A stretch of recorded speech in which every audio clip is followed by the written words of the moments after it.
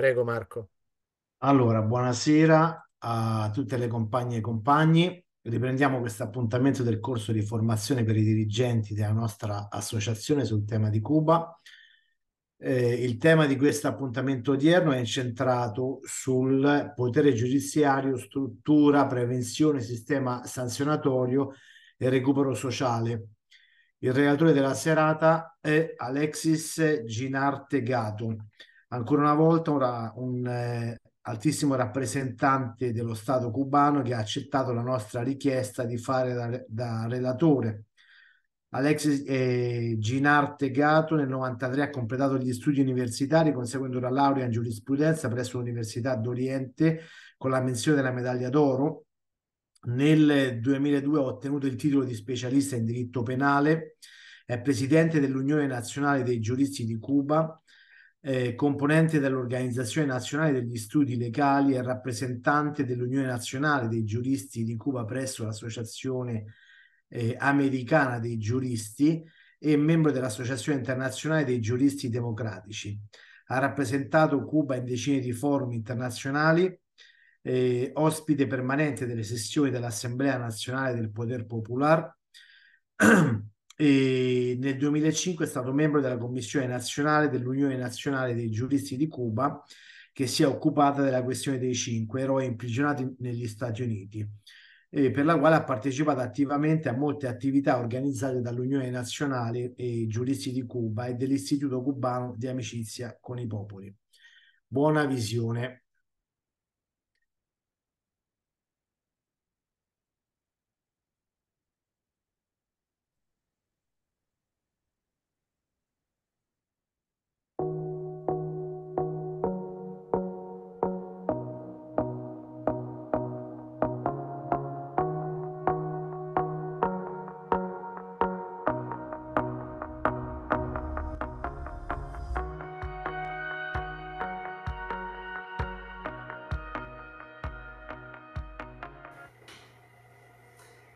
Buenas tardes a todos los participantes en este curso de formación para miembros de la Asociación Nacional de Amistad Italia-Cuba. Mis primeras palabras son de agradecimiento por la invitación cursada y la posibilidad de colaborar con la capacitación y formación de ustedes sobre nuestro sistema judicial. Debo significar que es para mí un honor compartir la noble, altruista, abnegada e imprescindible motivación que les identifica en conocer nuestra realidad en fortalecer la amistad inquebrantable del pueblo italiano y el pueblo cubano, y en continuar defendiendo la justicia social y la dignidad humana. Desde la Unión Nacional de Juristas de Cuba le transmito un caluroso saludo en nombre de los más de 17.000 juristas que represento. El trabajo que les expongo contiene un análisis histórico y la evolución del Poder Judicial en Cuba hasta la actualidad. En un segundo momento, les realizo una pequeña presentación de los principales cambios normativos en siete normas que tienen un importante impacto en la reforma judicial y procesal realizada. Esperamos que les sea útil nuestra presentación y que les sirva para continuar aportando desde sus trincheras a cultivar la esperanza, las causas que defendemos y la amistad que nos une. El título del trabajo, como ustedes conocen, es Poder Judicial en Cuba, Estructura, Prevención régimen sancionador y reinserción social. La función judicial en Cuba ha tenido diversas etapas en su formación. La primera de ellas podemos enmarcarla en el surgimiento de la colonia con la llegada de los españoles y la instrumentación de las instituciones castellanas a inicios del siglo XVI. La colonia no tenía ninguna estructura auténtica. Fue extendida la existente en la metrópolis. El rey ostentaba toda la autoridad militar y judicial, el que la delegaba en el gobernador. Las decisiones de este podían recurrirse ante la audiencia del virreinato, radicada en Santo Domingo, ante el Real y Supremo Consejo de Indias y en última instancia ante el propio monarca. En los municipios, las villas y ciudades que se crearon estaban controladas por el cabildo que presidía el alcalde. Este, auxiliado por regidores, realizaba la función judicial en materia civil y penal en representación del rey. La primera audiencia en el territorio insular fue instaurada en la villa de Puerto Príncipe en 1800, actual ciudad de Camagüey. Después, en 1938, se estableció otra audiencia en la ciudad de La Habana, lo que significó otro hecho trascendental en el acercamiento a la impartición de la justicia. Es de significar que en la historia judicial en Cuba, la aprobación de la Constitución de Cádiz en 1812 estableció el principio de tripartición de poderes. En ella se declaró la inamovilidad de los jueces y magistrados, el respeto al juez natural. Se consagró la independencia del Poder Judicial, así se dispuso un sistema que reconocía como máximo órgano de justicia al Tribunal Supremo y como instancia anterior a las audiencias. El surgimiento del pensamiento independentista en la isla a mediados del siglo XIX,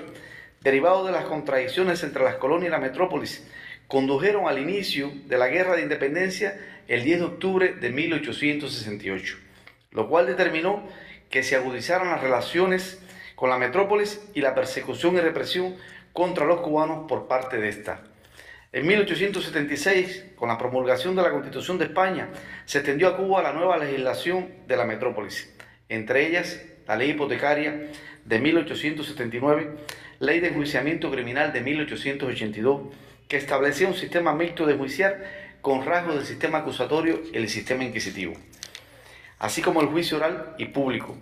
la ley de enjuiciamiento civil, el Código de Comercio de 1886 y el Código Civil de 1889. Muchas de estas regieron en Cuba después del 1 de enero de 1959. No podemos dejar de mencionar en esta etapa de lucha revolucionaria, específicamente en los periodos de 1868 a 1878 y 1895 a 1898, la aprobación de cuatro constituciones cubanas o cuatro constituciones mambisas como se le conoce. Nos referimos a la constitución de Guaymaro de 10 de abril de 1869, la constitución de Baraguá en 1878, la constitución de Jimaguayú de 1895 y la constitución de La Yaya de 1897. En las mismas se reconoció la independencia del Poder Judicial y fueron dictadas normas de organización judicial penales y procesales. Su aplicación fue muy compleja, dadas las condiciones de lucha insurreccional imperante.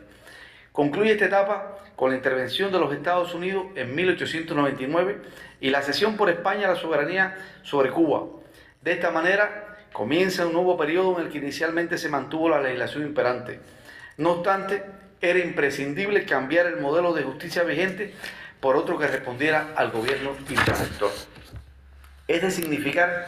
que siguiendo el modelo de máxima instancia judicial de los Estados Unidos, se crea el Tribunal Supremo por la Orden Militar número 41 de 14 de abril de 1899 y quedó también constituida una audiencia en cada una de las seis provincias del país. Un año más tarde, el 25 de mayo de 1900, se crean los juzgados correccionales mediante la Orden Militar número 203 se establece el procedimiento del juicio por jurado, lo cual no tenía precedente alguno en la historia judicial criolla ni en la cultura naciente. La historia lo recuerda como un procedimiento jurídico de carácter sumarísimo, identificado por una escasa práctica de la prueba y la inmediatez, desde el conocimiento de la denuncia, la realización del juicio y el pronunciamiento de la sentencia sin fundamentación alguna, contra el cual no se podía establecer recurso. Con el inicio del periodo republicano, en 1901, se dicta el 21 de febrero una nueva constitución de la República, en la que se disponía que el Poder Judicial se ejerce por un Tribunal Supremo de Justicia y por los demás tribunales, que las leyes establezcan, las que regularán su organización y facultades, el modo de ejercerlas y las condiciones que deben concurrir en los funcionarios que le integran. También quedó dispuesta la facultad del presidente de la República para nombrar, previa aprobación del Senado, al presidente y magistrados del Tribunal Supremo, la obligación de los órganos judiciales de conocer de todos los juicios civiles, criminales y contenciosos administrativos, así como la prohibición de crear tribunales extraordinarios y la jurisdicción especial de las Fuerzas Armadas. Un aspecto novedoso y trascendental para la época fue atribuir al Tribunal Supremo la facultad de decidir sobre la constitucionalidad de las leyes, decretos y reglamentos como fuera objeto de controversia entre partes. En 1908, se dictó la primera ley orgánica del Poder Judicial en correspondencia con las disposiciones de la Constitución vigente de 1901. Durante más de 25 años permanecieron inertes las normativas referidas al Poder Judicial, hasta que por decreto presidencial en septiembre de 1933 se determinó aprobar la creación de un Tribunal Nacional y seis tribunales provinciales de sanciones. A partir de la promulgación de la Constitución del 3 de febrero de 1934, se mantienen los fundamentos del Poder Judicial, no obstante, se dictan dos leyes para enfrentar a quienes sostenían conductas revolucionarias. Así fue aprobada el 5 de mayo de 1934 la Ley de Defensa de la República, mediante la cual se crearon los Tribunales de Defensa Nacional. Tres meses más tarde, el 15 de junio, se constituyeron los Tribunales de Urgencia, que tenían facultades para aplicar la pena de muerte. Su objetivo fundamental era juzgar a los responsables de las actividades revolucionarias. Bajo esa ley, en órgano constituido en Santiago de Cuba, fue juzgado el joven Fidel Castro Ruz, líder del movimiento revolucionario de la época, y sus compañeros asaltantes a los cuarteles Moncada en Santiago de Cuba y Carlos Manuel de Céspedes en Bayamo. Otro antecedente importante en la formación de la historia del Poder Judicial en Cuba lo fue la promulgación de la Constitución de 1940, texto progresista para la época. Como elemento relevante de la misma, hay que señalar que en su contenido definió que la justicia se imparte en nombre del pueblo de Cuba, sustituyendo el postulado anterior de que se ejercía en nombre de la República de Cuba. Dispuso la independencia de los jueces en el ejercicio de sus funciones. Instituyó la carrera judicial a la que se accedía a través de ejercicio de oposición y estableció la creación del Tribunal de Garantías Constitucionales y Sociales. Muchos son los acontecimientos históricos que ratifican la ausencia de credibilidad del sistema judicial actuante al proteger a los gobiernos de turno y responder los jueces a los intereses de la clase política en el poder, unido a la ausencia de un verdadero acceso a la justicia. Con todos estos antecedentes, inicia en Cuba una nueva etapa de construcción y desarrollo del Poder Judicial que debía responder al gobierno revolucionario naciente. El triunfo de la revolución el 1 de enero de 1959 determinó el inicio de una etapa de transformación del sistema judicial identificado con los principios de justicia social del proceso social naciente. Así se dictó la ley número uno del gobierno revolucionario de 6 de, enero de 1959, la que revocó los cuestionados tribunales de urgencia por su carácter eminentemente represivos y dictatoriales. Unido a esta decisión, se crearon tribunales revolucionarios que se encargaron de conocer los procesos contra criminales de la tiranía que asesinaron y torturaron a civiles inocentes, para lo cual se aprobaron procedimientos sumarísimos en juicio oral y público con derecho a recursos a los criminales de guerra que en el periodo de la tiranía asesinaron y torturaron al pueblo. Otro hecho que merece distinguirse fue la creación por Fidel de los tribunales de nuevo tipo, identificados en que fueran integrados por el pueblo, aplicaran justicia por el pueblo y para el pueblo, decisión que se da a conocer el 12 de octubre de 1962 a estudiantes y profesores de la Escuela Judicial, actual Facultad de Derecho de la Universidad de La Habana, constituyéndose inicialmente 35 tribunales integrados con el apoyo de profesores y estudiantes a lo largo de todo el país que conocerían de delitos leves y contravenciones, experiencia que fue extendida a todos los territorios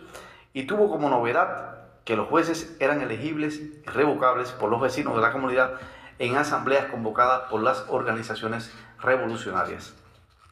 En fecha 23 de junio de 1973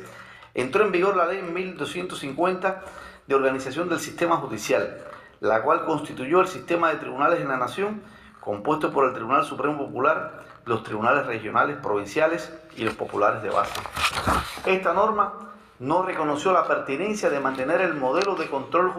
jurisdiccional de constitucionalidad a los nuevos órganos judiciales conformados. Su ejecución quedaría recomendada a la Asamblea Nacional del Poder Popular por la nueva constitución aprobada en referéndum el 24 de febrero de 1976.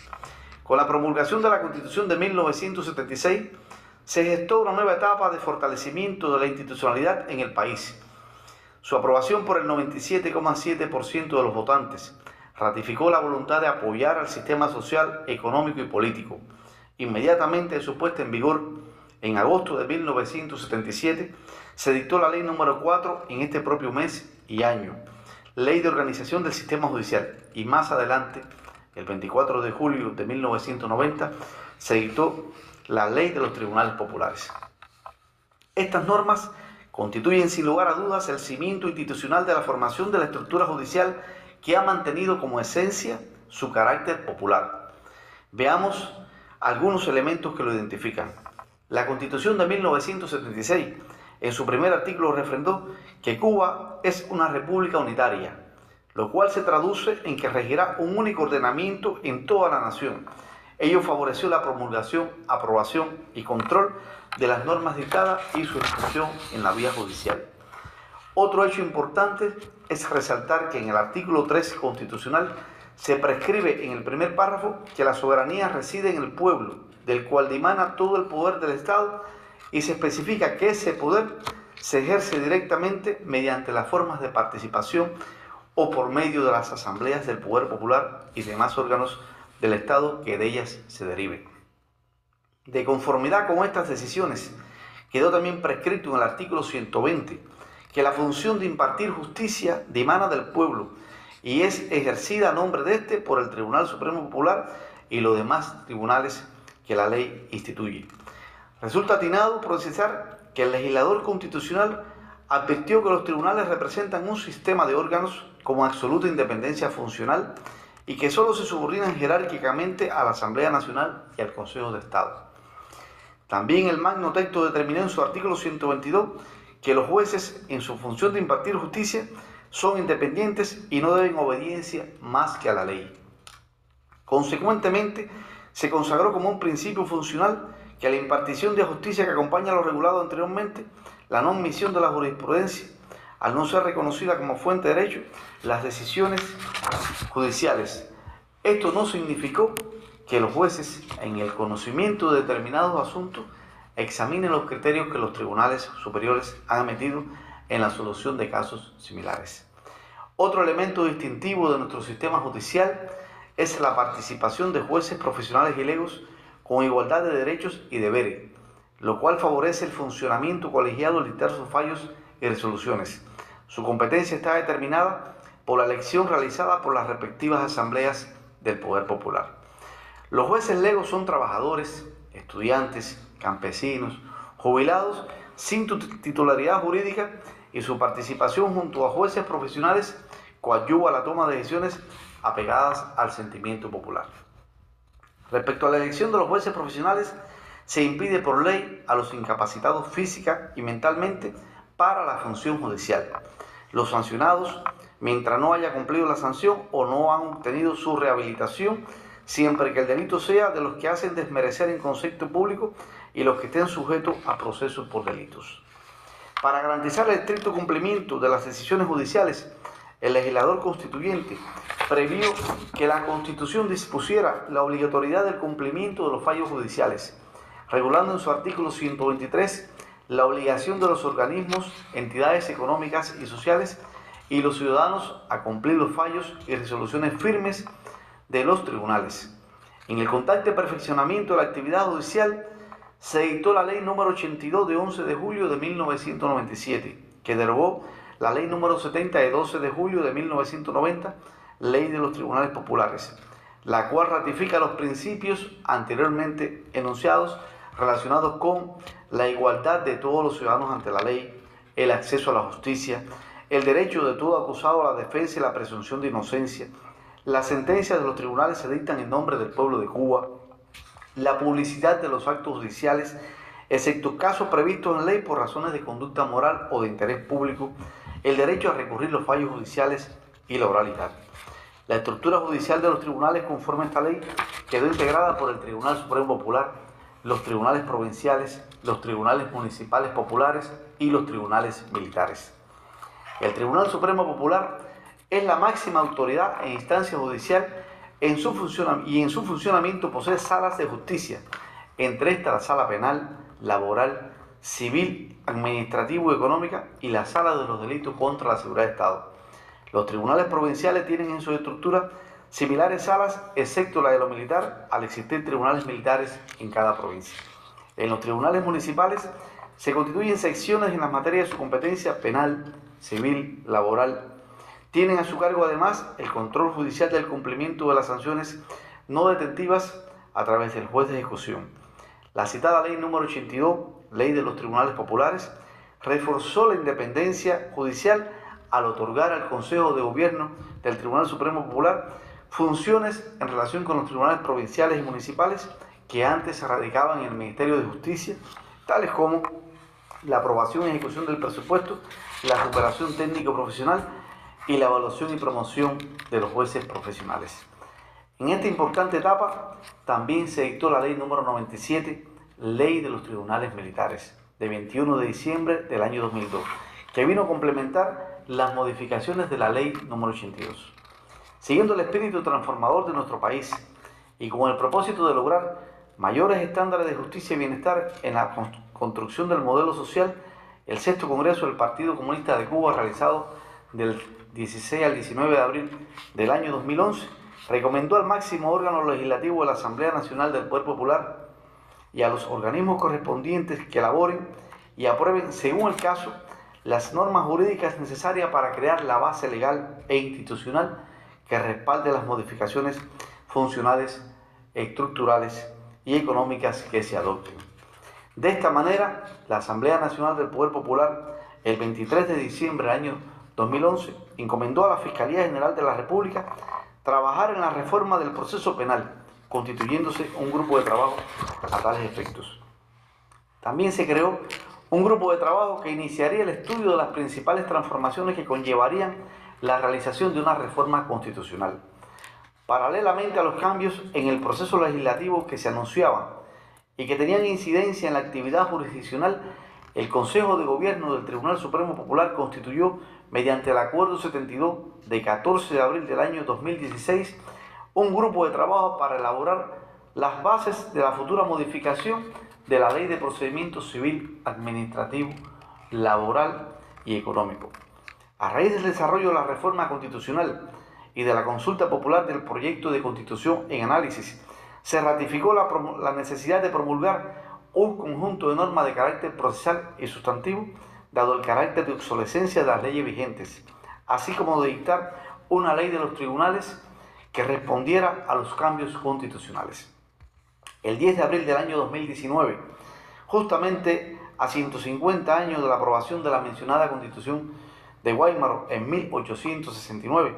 es proclamada en sesión extraordinaria la Asamblea, el de la Asamblea Nacional del Poder Popular la nueva Constitución de la República había sido aprobada en referendo el 24 de febrero del próximo año. Como resultado del referendo popular realizado, es significativo mencionar que de los 8.705.723 ciudadanos con derecho electoral ejercieron el voto 7.848.343 para un 90% de participación. Votaron afirmativamente 6.816.169 ciudadanos, que representa el 78,30% del total de personas con derecho a ejercer el voto y el 86,85% de los que lo ejercieron. En contra estuvieron 706.400 ciudadanos, que representan el 8,11% de los que debían ejercer su derecho al voto.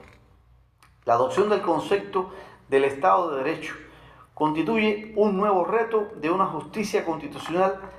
que sirva de garante al amplio y profundo catálogo de derechos y libertades públicas reconocidos en el Magno Texto. Al propio tiempo reclama de la existencia de mecanismos jurídicos que favorezcan ante su vulneración e inobservancia el acceso a la vía judicial en la búsqueda de amparo y restitución. El reconocimiento por la Constitución de la República de Cuba del año 2019 en el título quinto de un amplio catálogo de derechos, deberes y garantías normativas y jurisdiccionales y expresamente el acceso a la tutela judicial efectiva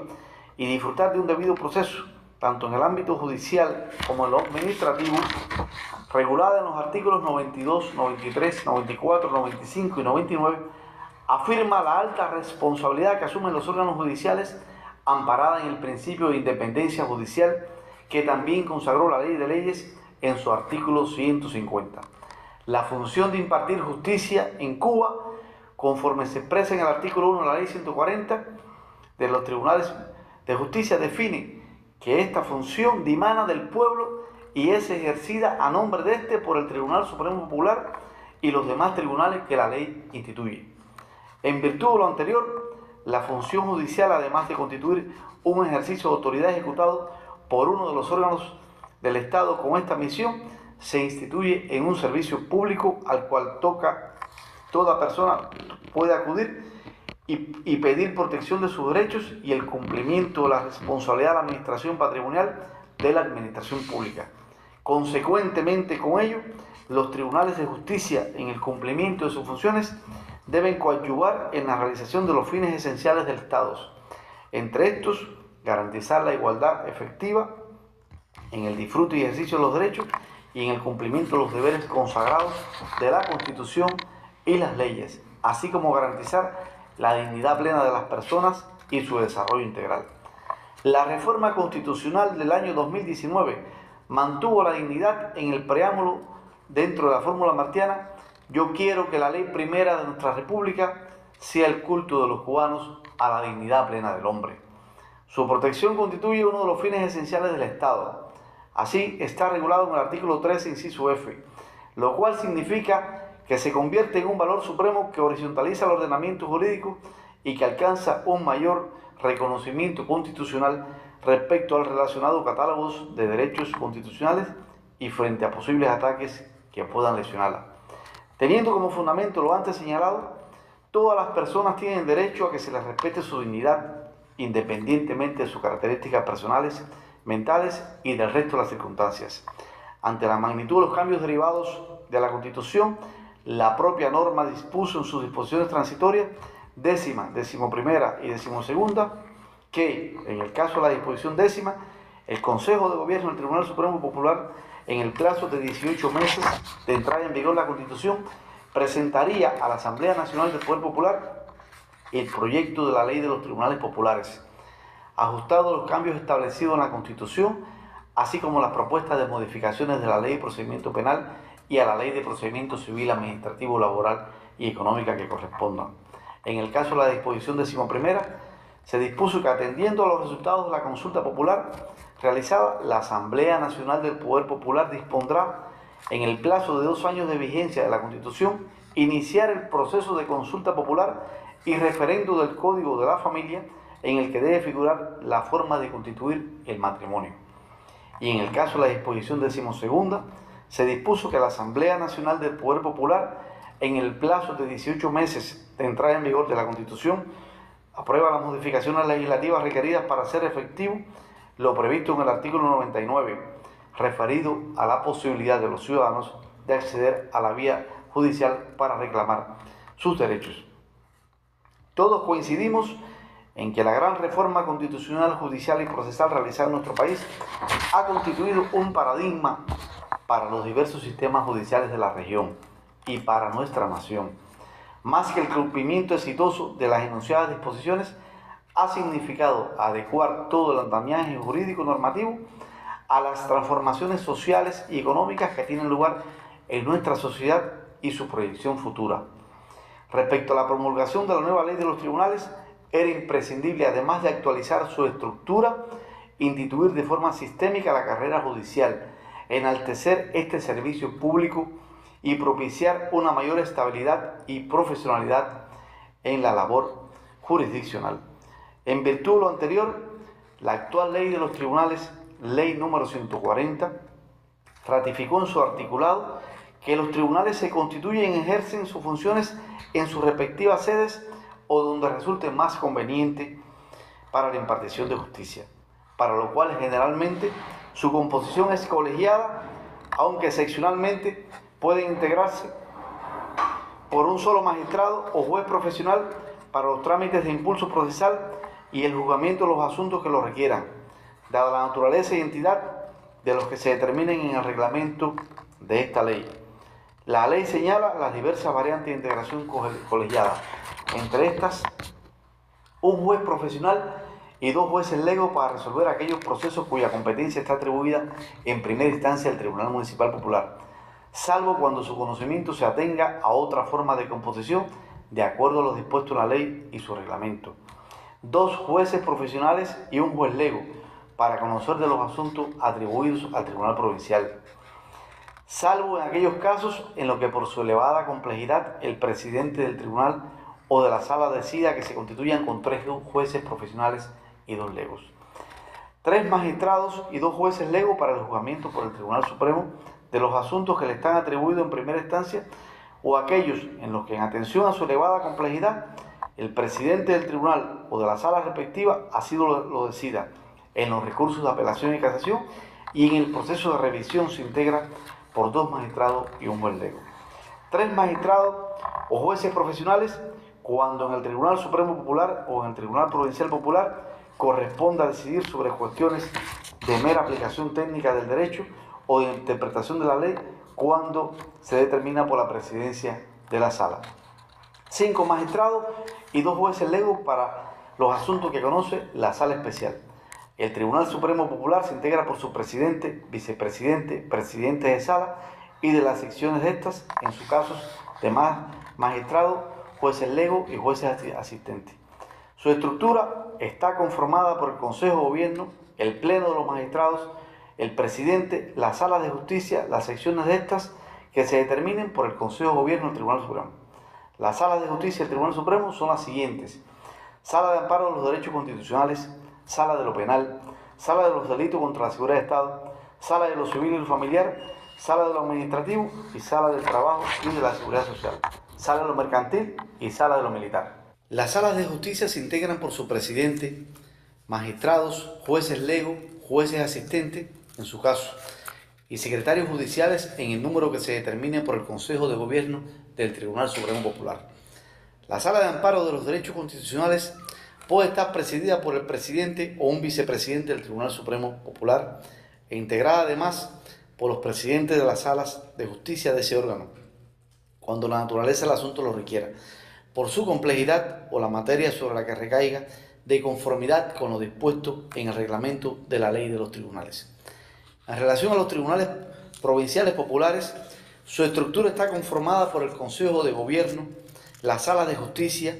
y las secciones de estas que se determinen por el Consejo de Gobierno del Tribunal Supremo Popular. El artículo 45.1 de la ley citada definió que el Tribunal Provincial Popular puede existir las salas siguientes. Salas de amparo de los derechos constitucionales, sala de lo penal, sala de los delitos contra la seguridad del Estado, sala de lo civil y de lo familiar, sala de lo administrativo, sala del trabajo y la seguridad social y sala de lo mercantil. La sala de justicia la integran su presidente, jueces profesionales y legos y secretarios judiciales en el número que se determine por el Consejo de Gobierno del Tribunal Supremo Popular. El Consejo de Gobierno del Tribunal Supremo Popular, conforme a sus facultades, puede disponer la creación de más de un tribunal municipal popular dentro de la demarcación territorial de un municipio para conocer de los asuntos de su competencia que se determinen. También puede decidir la creación o supresión de secciones en un tribunal municipal popular y a su vez la constitución de los tribunales territoriales o de secciones de estos con jurisdicción sobre dos o más municipios para conocer de los asuntos de la competencia de la instancia municipal que se les atribuye. Los tribunales municipales populares se integran por su presidente, vicepresidente y presidente de secciones, en su caso, y demás jueces profesionales y legos. Estos pueden integrarse por secciones que conozcan de las materias especializadas cuando lo demande la densidad de población el volumen o la naturaleza de los asuntos o el ámbito de su competencia. Los cargos de vicepresidente y presidente de sección se aprueban por el Consejo de Gobierno del Tribunal Supremo Popular para los tribunales municipales populares en los que se justifique por el número, la naturaleza y la complejidad de los asuntos de que conocen. El ingreso en la carrera judicial en Cuba se, realiza de conformidad con los resultados obtenidos en los concursos de oposición y de mérito que se convocan por el Consejo de Gobierno del Tribunal Supremo Popular, bajo los principios de igualdad y publicidad. De manera excepcional, el Consejo de Gobierno del Tribunal Supremo Popular puede aprobar ingresos, traslados y promociones sin convocar los ejercicios antes mencionados. La elección de los magistrados y jueces profesionales se materializa sin sujeción a término de mandato la elección y revocación de los magistrados y jueces se publica en la Gaceta Oficial de la República de Cuba para conocimiento general. El presidente del Tribunal Supremo Popular es elegido por la Asamblea Nacional del Poder Popular a propuesta del presidente de la República. los vicepresidentes, presidentes de salas o secciones y magistrados del Tribunal Supremo Popular se eligen por la Asamblea Nacional del Poder Popular o el Consejo de Estado, en su caso, a propuesta del presidente del Tribunal Supremo Popular. Los presidentes y vicepresidentes de los tribunales provinciales populares son elegidos por el Consejo de Gobierno del Tribunal Supremo Popular a propuesta de su presidente. Los presidentes y vicepresidentes de salas y secciones y jueces del resto de los tribunales se eligen por el Consejo de Gobierno del Tribunal Supremo Popular a propuesta del Consejo de Gobierno de los Tribunales Provinciales Populares remitida por sus presidentes. Los jueces legos del Tribunal Supremo son elegidos por la Asamblea Nacional del Poder Popular o el Consejo de Estado en su caso. Los jueces legos del resto de los tribunales son electos por las asambleas municipales del Poder Popular del territorio donde los propongan. Hasta aquí, compañeros y compañeras, los aspectos esenciales del sistema judicial en Cuba y su estructura actual. Como ustedes han visto, tenemos una composición de tribunales municipales, provinciales y tribunal supremo. Secciones y salas en cada tribunal, en correspondencia con las salas de la materia que atiende. Esperemos que le haya sido eh, agradable conocer, participar y al mismo tiempo estar actualizado sobre las estructuras del Tribunal Judicial en Cuba.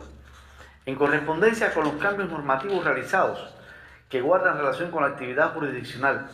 y con la protección de los derechos y garantías, han sido aprobados un grupo de normas adjetivas y sustantivas que por su importancia y avance logrado nos sitúa como un referente en la región. Les propongo entonces examinar las principales transformaciones en siete importantes leyes aprobadas en los últimos cuatro años. Cumpliendo el mandato constitucional dispuesto en las disposiciones transitorias décimas, se editó la ley número 143 de 28 de octubre del año 2021, Ley del Proceso Penal. La misma ofrece una mirada garantista al imputado desde el inicio del proceso, al determinar que la primera declaración debe tomarse obligatoriamente con la presencia de abogado cuando el acusado es menor de 18 años y en los demás casos es potestativo al imputado. Asimismo, esta avanzada norma determinó que la designación de los abogados por el acusado es a las 24 horas de notificarle la instructiva de cargos, pudiendo estar presente el abogado escogido en la primera declaración al no designarse eh, otro, es obligatorio la presencia de uno de oficio. Otra novedad que fortalece la actuación judicial es que el imputado o su defensor pueden solicitar el control judicial de la prisión provisional. Esta constituye una modificación trascendental al situar en manos del tribunal la facultad de decidir sobre la justeza o no de mantener en prisión a un imputado, el cual puede solicitarse ante un juez unipersonal en cualquier momento de la fase preparatoria, instante en que se perpetúa la jurisdicción en esta materia, siendo el juez el único que puede determinar, revocar o mantener la procedencia de la imposición de la presión, quedando vedado a partir de ese momento para el fiscal hacerlo. La ley también realiza extraordinarias modificaciones en el tratamiento a las víctimas, al exponer un catálogo extenso de derechos, siendo el más trascendental el poder constituirse como parte en el proceso y en determinados casos elegirse como acusador particular. Asimismo tiene el derecho a designar abogado, lo que se le denominará el ley defensor de la víctima, pudiendo asumir diversas posiciones. Se adhiere a la pretensión resarcitoria del fiscal, actúa como coadyuvante de la fiscalía en el juicio, ejerce la acción civil de forma independiente. Otro aspecto trascendental que merece ser expuesto es que la nueva ley del proceso penal, con el ánimo de descongestionar la actividad jurisdiccional del conocimiento de procesos radicados por delitos de mayor lesividad acogió los criterios de oportunidad como presupuesto para que el fiscal pueda prescindir del juzgamiento en caso de delito con sanción inferior a cinco años de privación de libertad y que su decisión tenga carácter extintivo de la acción penal. Sin lugar a duda, el legislador cubano no pudo evadir la preocupación descrita por Ferrajoli de que la historia del proceso penal se presenta como un nudo burriano en que están en conflicto dos finalidades contrapuestas, pero relacionadas, que son el castigo del culpable y al mismo tiempo la tutela de los inocentes. Es de significar de esta ley que ha satisfecho un conjunto de expectativas crecientes de los operadores del derecho en Cuba y de nuestro pueblo, en aras de lograr un mayor equilibrio en el enfrentamiento del delito, la prevención, la aplicación de medidas cautelares y el cumplimiento del debido proceso. Otra ley que perfeccionó la actividad judicial y en particular la tramitación de los asuntos civiles, familiares y mercantiles y del trabajo en sede judicial fue el Código de Procesos, Ley 141 de 28 de octubre del año 2021. El nuevo código tuvo como premisa unificar tipos de procesos y eliminar la diversidad procesal que existía. Así solo dispuso los tipos procesales ordinario y sumario y un proceso de naturaleza particular en el sucesorio relacionado con los asuntos identificados con la sucesión, derecho del trabajo, la violencia de género o la familiar u otros en los que amerite una respuesta urgente del tribunal. También con el mismo fin, el tribunal puede reconducir un proceso originalmente iniciado como un sumario a tramitación ordinaria cuando el grado de complejidad lo amerite. Dentro de las principales novedades del código está la incorporación en el texto en el artículo 4 de las fuentes procesales de derecho, cuestión ausente del sistema jurídico cubano en las legislaciones anteriores. El nuevo texto procesal incorpora la aplicación de los tratados internacionales en virtud de lo dispuesto en el artículo 8 constitucional que los equipara al ordenamiento nacional. Al mismo tiempo también se incluye como fuentes formales los principios generales del derecho. Estableció como novedad en el apartado segundo la posibilidad de que las partes puedan invocar en apoyo a las pretensiones en los asuntos de la materia que regula el, el código las resoluciones judiciales dictadas, aunque no tendrán fuerza vinculante. Es importante compartir otra peculiaridad del código, al señalar que los jueces mantienen una posición activa en los, en los procesos con el propósito de lograr certeza sobre los hechos. Con ello no solo se enaltece la función jurisdiccional, sino se propicia ofrecer una respuesta eficaz a determinadas demandas urgidas de celeridad. Otro paso trascendental del código fue establecer un modelo cautelar coherente inexistente en la norma anterior, así como perfeccionar la ejecución de sentencias para asegurar el cabal cumplimiento de las decisiones judiciales y de la tutela judicial efectiva. De esta forma, el citado código estableció determinadas medidas cautelares adoptadas de forma previa a las demandas relativas a derechos e intereses de personas en situación de vulnerabilidad, los derechos inherentes a la personalidad u otras situaciones requeridas de protección urgente. Otra modificación trascendental fue afianzar la ejecución de resoluciones judiciales acogiéndose como institución a las combinaciones, pudiendo adoptar el juez medidas coactivas para lograr la ejecución forzosa en lo dispuesto. Finalmente, el otro paso de avance fue el establecimiento de un nuevo modelo casacional, al eliminar las causales propiciatorias del acceso y estableció solo tres motivos casacionales uno, identificado con la violación del debido proceso, lo que se conocía antes como quebrantamiento de forma. El segundo está relacionado con la libre interpretación de la prueba, amparado en los principios que informan su valoración, debiendo demostrar quien lo invoca la arbitrariedad o irracionalidad en su valoración. El tercer y último motivo es por infracción de ley, identificado con los dispuestos en el artículo 4, relacionado con las fuentes formales y los principios generales del derecho. Siguiendo el cumplimiento de la mencionada disposición transitoria décima, se aprobó la Ley de Proceso Administrativo, Ley número 142 del año 2022, la que favoreció la posibilidad de recurrir las decisiones administrativas ante los tribunales y así someter la administración a la ley y con ella garantizar la tutela judicial efectiva al permitirle que el ciudadano pueda reclamar cualquier disposición aprobada por la administración pública.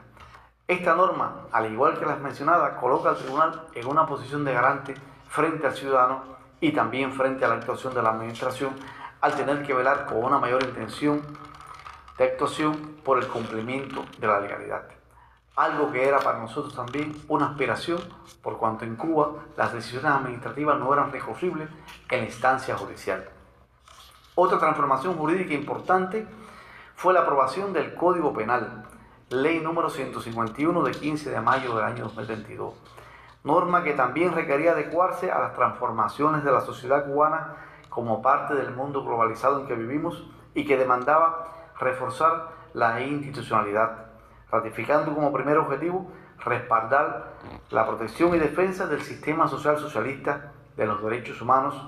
y el tratamiento diferenciado a niños, niñas y adolescentes en conflicto con la ley penal. De igual manera,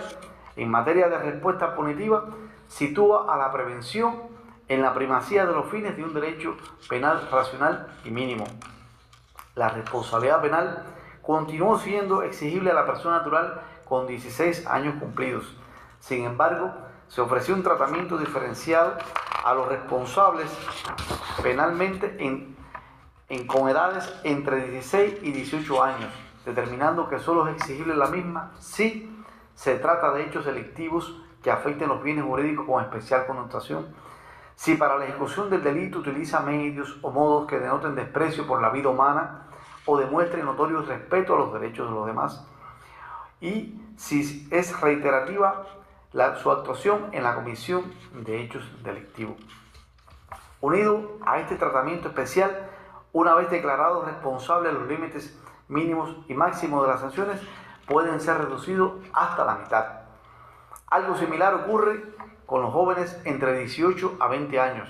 En estos casos, los límites pueden ser rebajados hasta un tercio. Este tratamiento especial tiene como fin reinsertar socialmente al sancionado, adiestrarlo en una profesión u oficio e inculcarle el respeto al orden legal. En estrecha relación con la prevención y reinserción social, el Código Penal dedicó el título quinto a regular las sanciones y sus clases. De esta manera, como fines primordiales, se dispuso en el artículo 29 que la sanción tiene como finalidad prevenir la comisión de nuevos delitos, reprimir por el delito cometido y reinsertar socialmente al sancionado sobre la base de los principios de estricto cumplimiento de las leyes y de respeto a las normas de convivencia social. En el caso de las personas jurídicas como sujetos penalmente responsables, la sanción, además de los fines preventivos punitivos, persigue restablecer la capacidad organizativa de la entidad y encauzarla en los propósitos para los que fue creada. Es importante señalar algunas de las sanciones aplicables a las personas naturales que relaciona el código por su importancia y novedad. Dentro de las sanciones principales, además de las existentes en el código anterior, nos referimos a las sanciones de muerte, trabajo correccional con y sin internamiento, privación de libertad, limitación de libertad y multa, se incorpora la sanción del servicio en beneficio de la comunidad, algo novedoso que no existía en el anterior Código Penal. En el catálogo de sanciones accesorias se incorporan la privación o suspensión de la responsabilidad parental, remoción de la tutela y la revocación del apoyo intenso para personas con discapacidad y la prohibición de frecuentar lugares determinados. Como elemento singular, debemos señalar que en la imposición de las penas prevalece el principio de individualización de las mismas. En este sentido, se dispuso un régimen sancionador en orden ascendente de las alternativas, que posibilita ir utilizando penas de mayor rigor sin que resulte imprescindible aplicar la sanción de privación de libertad, lo que sin lugar a dudas privilegia un amplio atinado arbitrio judicial. Como novedad, el nuevo Código Penal debemos señalar que incorpora nuevos títulos y, tipos delictivos en coherencia con el desarrollo constitucional. Entre ellos, el título contra la dignidad humana, delito contra la integridad de las telecomunicaciones, la tecnología de la información y la comunicación y sus servicios, delitos contra la libertad e indemnidad sexual, las familias y el desarrollo integral de las personas menores, delitos contra la creación intelectual, entre otros. Lo más trascendental es que el código refuerza el principio humanista y la protección de la dignidad humana, abandonando el concepto de peligrosidad social y acogiendo el nuevo concepto de lesividad en la protección de los bienes jurídicos, que exige la suficiencia de una conducta para lesionar el bien jurídico protegido y se requiere que la acción produzca un daño o lesión efectiva para ejercitar la acción penal. Y con ello instituye eh, figuras delictivas sin antecedentes en nuestra legión, entre estas podemos citar delitos contra el desarrollo integral de los menores, delitos contra la intimidad personal y familiar, la voz, la imagen, identidad de otra persona y sus datos, trabajo forzoso u obligatorio, asesinato como consecuencia de la violencia de género por discriminación de cualquier tipo. Unido a estas normas, la Asamblea Nacional aprobó el 15 de mayo la ley número 152, Ley de Ejecución Penal, como resultado de los cambios impuestos al Código Penal, al establecer un nuevo diseño del régimen de sanciones penales y principales, accesorias, sus fines y reglas. Esta norma establece cambios novedosos en el control judicial de los detenidos y sancionados. Al mismo tiempo regula la ejecución de las sanciones impuestas a personas naturales y jurídicas y las medidas de seguridad previstas en la ley penal, definiendo la actuación de los órganos, organismos, instituciones, organizaciones y demás sujetos que participan en un proceso de ejecución,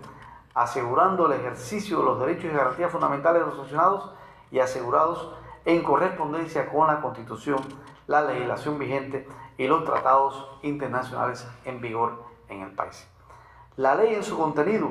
define que durante la ejecución de la medida cautelar de prisión provisional prima el principio de presunción de inocencia e instrumenta el tratamiento correspondiente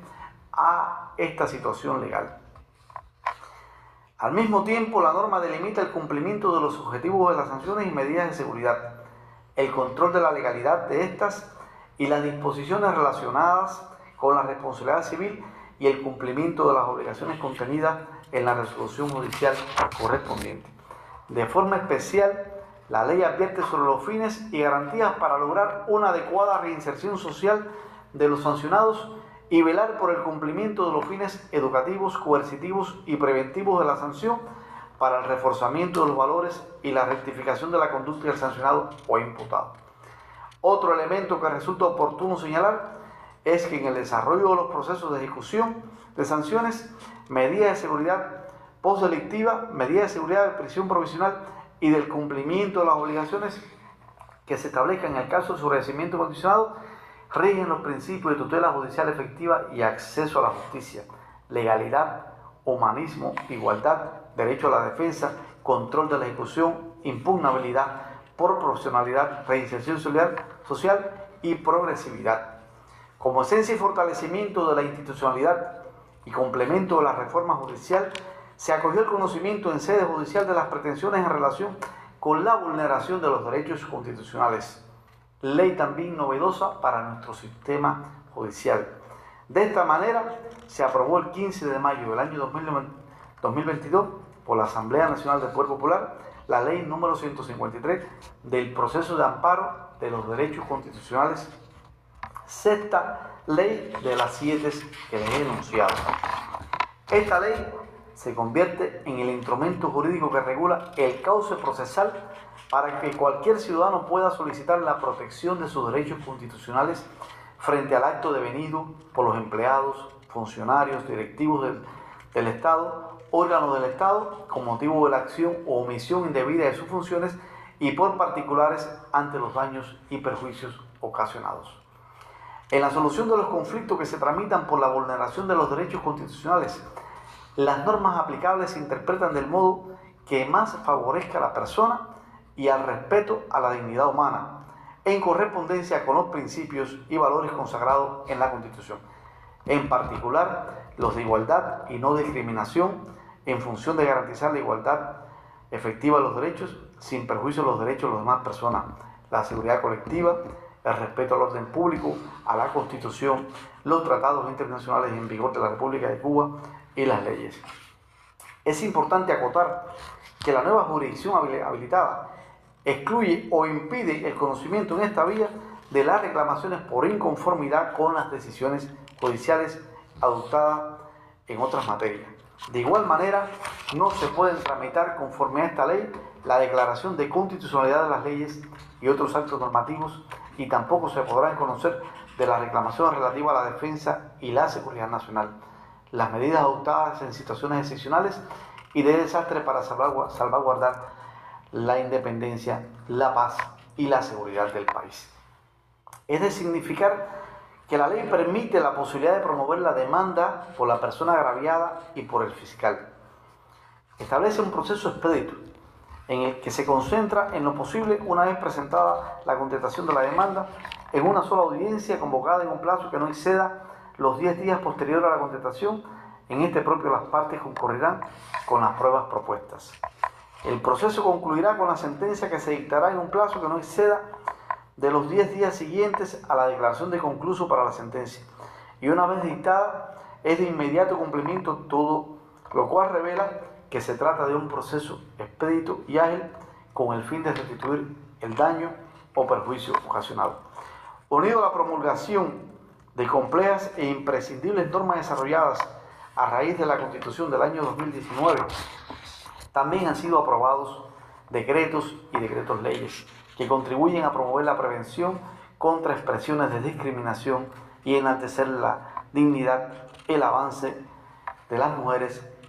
y la igualdad de derechos. Hemos hecho una síntesis de siete de las 40 normas aprobadas en nuestro país en los últimos cuatro años que mayor impacto tienen en la reforma judicial y procesal. Al mismo tiempo se han aprobado más de 75 decretos leyes, pero vamos a hacer referencia a algunos por el impacto que tienen en la protección de los derechos y garantías de los ciudadanos. El 20 de febrero del año 2021 se aprobó el decreto presidencial 198 sobre el Programa Nacional para el Adelanto de las Mujeres, el que constituye la agenda del Estado cubano para el adelanto de las mujeres. El mismo integra acciones y medidas que se corresponden con los principios y postulados reconocidos en la Constitución de la República y con los compromisos internacionales contraídos sobre la igualdad de género. El Programa Nacional para el Adelanto de las Mujeres es en, en esencia promueve acciones dirigidas a lograr mayor integralidad y efectividad en la prevención y eliminación de manifestaciones de discriminación contra las mujeres, así como incentiva fortalecer los mecanismos y la capacidad profesional de los funcionarios y servidores públicos para incorporar las cuestiones de género en la elaboración de políticas, programas y en la prestación de servicios. Con este mismo propósito de fomentar una cultura de prevención y atención de la violencia de género, de forma articulada, los organismos de la Administración Central del Estado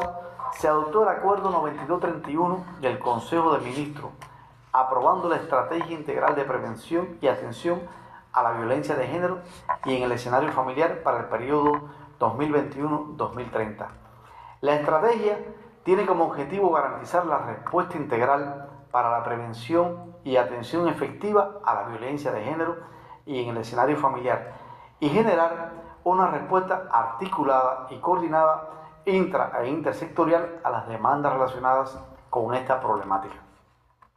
Su desarrollo la fundamenta en el trabajo cooperado entre los órganos y organismos de la Administración Central del Estado, los diferentes prestadores de servicios, los agentes sociales en las comunidades y la amplia participación ciudadana que incluye las organizaciones de masa y sociales y las demás formas asociativas servicios legales, de salud, educación, gobiernos locales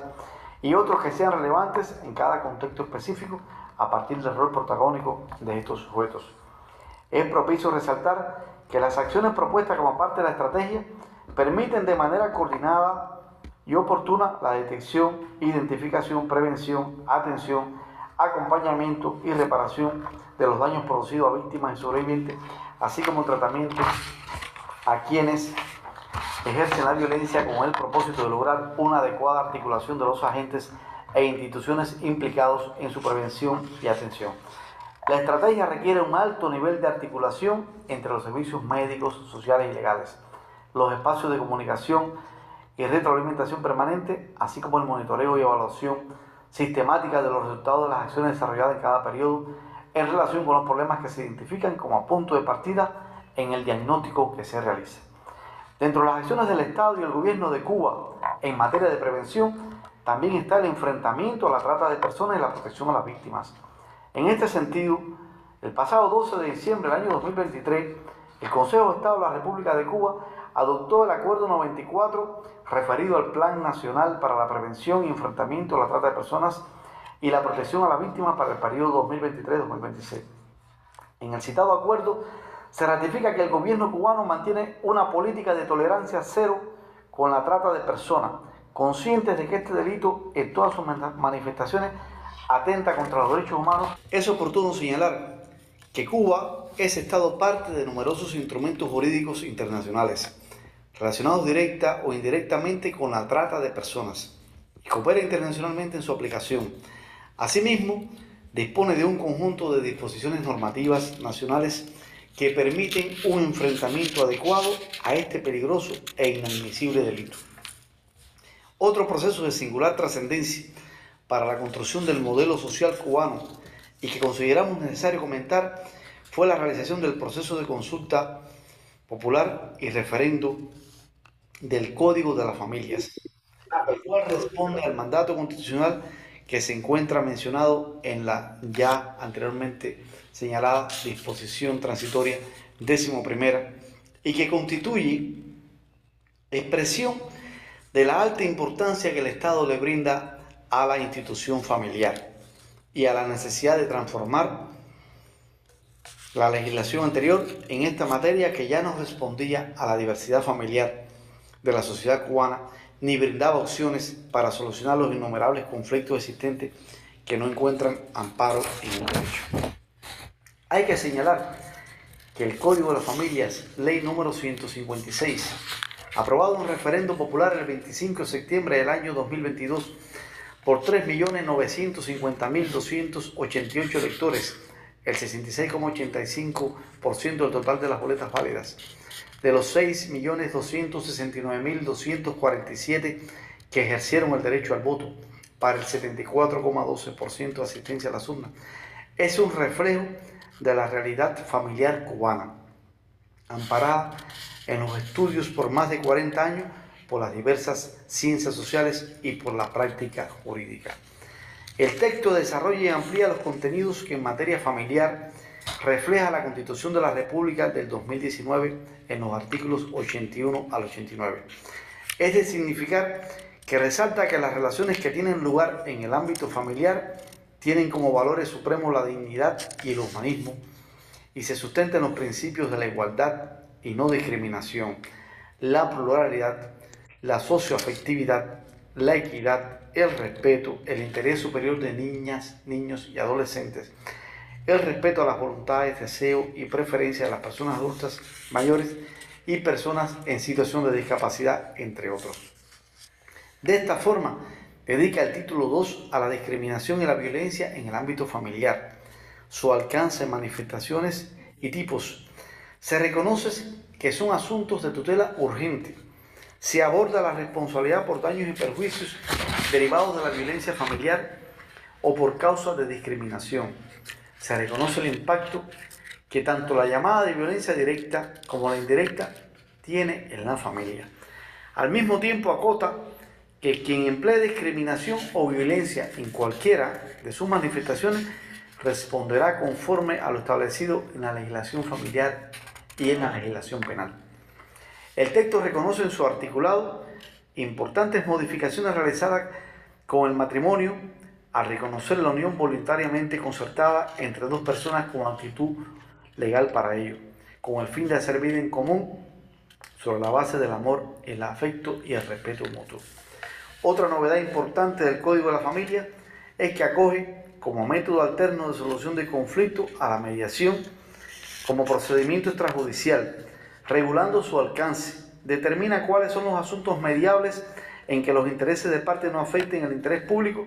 y los que no exista desequilibrio de poder, ni violencia, ni en cualquiera de sus manifestaciones. En todo el articulado de esta importante norma se mantiene la interacción judicial en las cuestiones vinculadas con la determinación de la obligación de dar alimentos, con las acciones de filiación y su reconocimiento por sentencia judicial, con el reconocimiento de la posesión del Estado, con las autorizaciones para las adopciones, todas las cuestiones derivadas del entonces patria potestad, ahora responsabilidad parental, incluidas las discrepancias en su ejercicio, su privación y suspensión, la determinación de la guardia y los cuidados, la comunicación parental y familiar y los alimentos, los procesos relativos a la administración y disposición de los bienes de los hijos e hijas menores o la utilidad y necesidad de las madres y padres para disponer, permutar, vender o ejecutar actos de disposición respecto a los bienes y derechos de las hijas y los hijos de los cuales ejercen la responsabilidad parental, los divorcios judiciales y todos sus efectos, la liquidación de la comunidad matrimonial de bienes, las declaraciones de ineficacia del matrimonio, la constitución y control de las tutelas de personas menores de edad.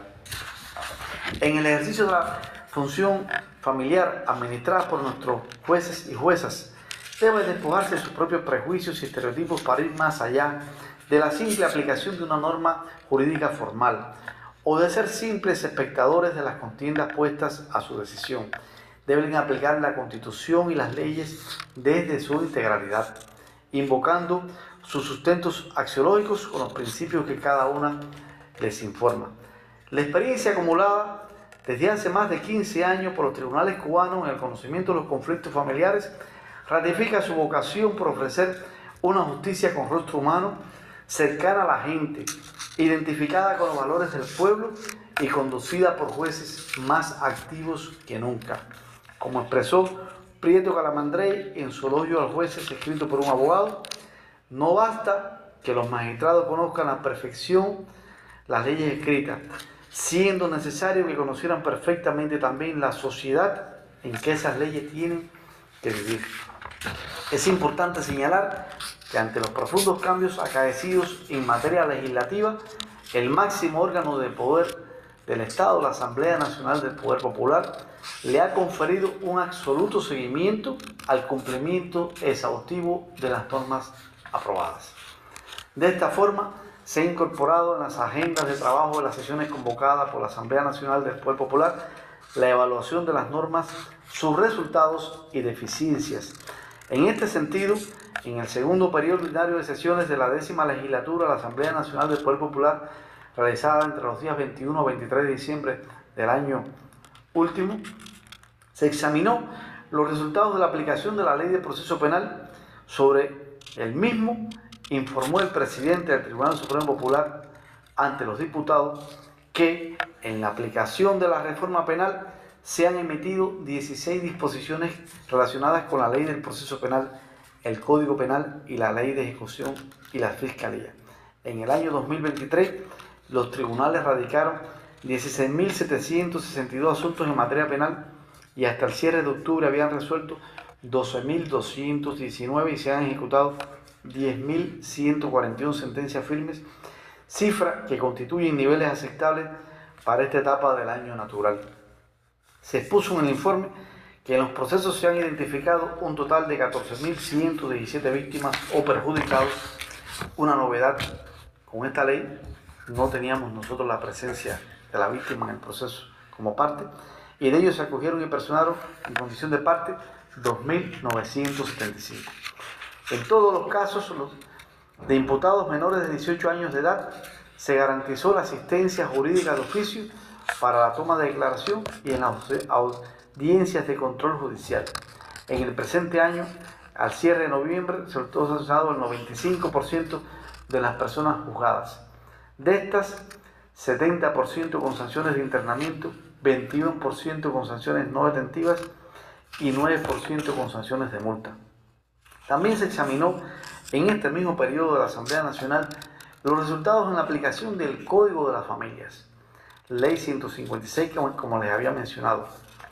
De su valoración se determinó que en su implementación ha sido favorable en consideración de expertos y diputados,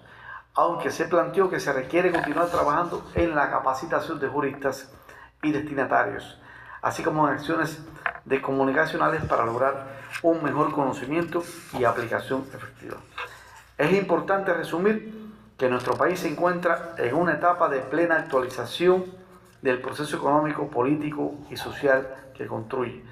perfeccionando el socialismo bajo los principios de plena participación ciudadana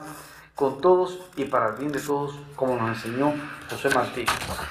y siguiendo muy cerca el concepto de revolución expuesto por nuestro comandante ingeniero Fidel Castro Ruz al expresar, revolución es sentido del momento histórico, es cambiar todo lo que debe ser cambiado, es igualdad y libertad plenas, es ser tratado y tratar a los demás como seres humanos, es emanciparnos por nosotros mismos y con nuestros propios esfuerzos, conforme al cual debemos cambiar todo lo que debe ser cambiado. Estamos en el camino correcto y cada cambio legislativo tendrá como ciencia el bienestar y la protección del pueblo, en defensa de la dignidad y la justicia social. Como conclusiones, puedo destacar que en Cuba, país con una tradición de defensa de la justicia, la equidad, el humanismo y la solidaridad, se consolida el Poder Judicial con la realización de una profunda, encomiable y garantista reforma judicial y procesal, expresión del proceso de institucionalización desarrollado en correspondencia con el mandato dispuesto en el artículo 1 de la Constitución de la República del año 2019 al, decir, Cuba es un Estado socialista de derecho y justicia social, democrático, independiente y soberano, organizado con todos y para el bien de todos como república unitaria e indivisible, fundada en el trabajo, la dignidad, el humanismo y la ética de sus ciudadanos para el disfrute de la libertad, la equidad, la igualdad, la solidaridad, el bienestar, la prosperidad individual y colectiva. En el periodo de abril del año 2019 a diciembre del año 2023 han sido dictadas 40 leyes de rango superior que ratifican el desarrollo de un intenso programa normativo que tiene como novedades la participación activa y decisiva de un número importante de juristas en el proceso de realización de las políticas y los procesos normativos y su presentación en el debate popular, en consultas especializadas a sus principales destinatarios y operadores del derecho, para ser perfeccionados antes de su presentación a la aprobación de la Asamblea Nacional del Poder Popular, lo cual no tenía tampoco un precedente en la historia de la nación cubana ha sido la organización nuestra un ente activo en el debate, en la propuesta, en la actualización del proceso normativo y en el acompañamiento permanente a nuestro máximo órgano de poder, la Asamblea Nacional del Poder Popular, en función de perfeccionar nuestros sistemas de normas. Deseo reiterar las gracias al compañero Marco Papaci por esta oportunidad y decirle que estaremos al tanto Estaremos atentos ante el llamado de ustedes para continuar contribuyendo con la asociación en el desarrollo de cursos, talleres y eventos que se convoquen. Les deseo éxito en este curso y les ratifico que la Unión Nacional de Juristas de Cuba continuará en alianza permanente y firme con la asociación en pos de la amistad y la defensa de nuestros principios. Muchas gracias y estaremos al tanto de sus comentarios y observaciones.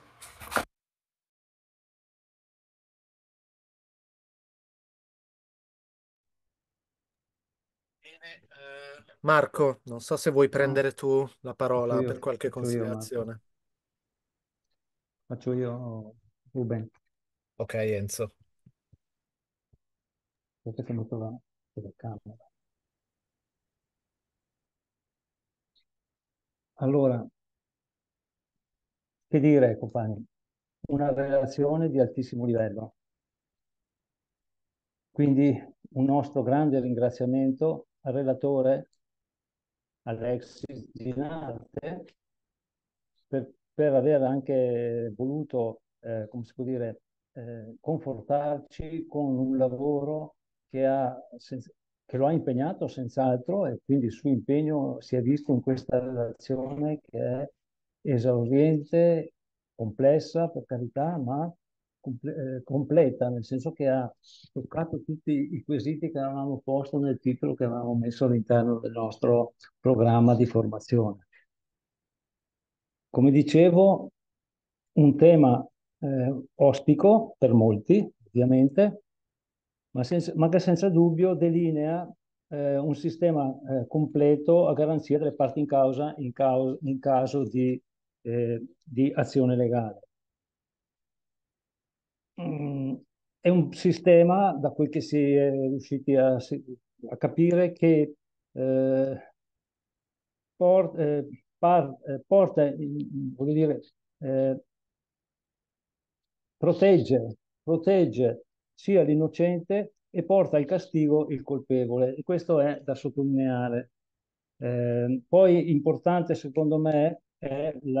eh, l'accenno la, particolareggiato ai codici di processo e al modello cautelare che ha eh, messo, messo ci ha esposto questa sera il relatore.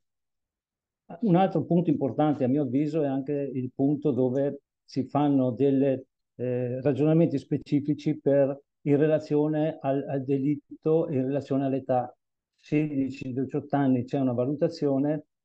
ovviamente 16 anni per loro corrispondono ai nostri 18, ma dai 16 ai 18 hanno, fanno una valutazione specifica sul, sul delitto e anche sulle pene e lo stesso fanno dai 18 ai 20. Eh, un'altra questione che mi sembra di poter sottolineare è che mh, stanno investendo molto nella riforma giudiziaria, tant'è che sono molteplici le leggi e i decreti che hanno eh, portato avanti in questi ultimi anni e quindi una profonda riforma che sia a garanzia dei diritti e soprattutto la fase anche eh, e di prevenzione e anche di recupero del soggetto che ha eh, penalmente eh, colpevole di, di, di qualche delitto. Quindi, a mio punto di vedere, come ha detto già il nostro relatore, Cuba è a tutti gli effetti uno Stato di diritto. Quindi eh, è, questo è un documento che tutti noi dovremmo studiarci perché ci può anche supportare nelle analisi che possiamo fare con altre persone che magari non, non, hanno, non sono dentro ma si avvicinano alla situazione per poter parlare e discutere anche delle questioni che riguardano la giustizia a Cuba. Un grandissimo ringraziamento va anche a Domenico di Napoli e a Ruben di Milano per questo lavoro di sottotitolazione di questo, eh, di questo intervento che non so se ci avete fatto caso, ma è durato anche qualcosina più di un'ora. E quindi credo che abbiano impiegato molto, molto tempo per poterlo fare e sono stati bravissimi perché sia la ripresa sia i sottotitoli erano impeccabili dal mio punto di vista.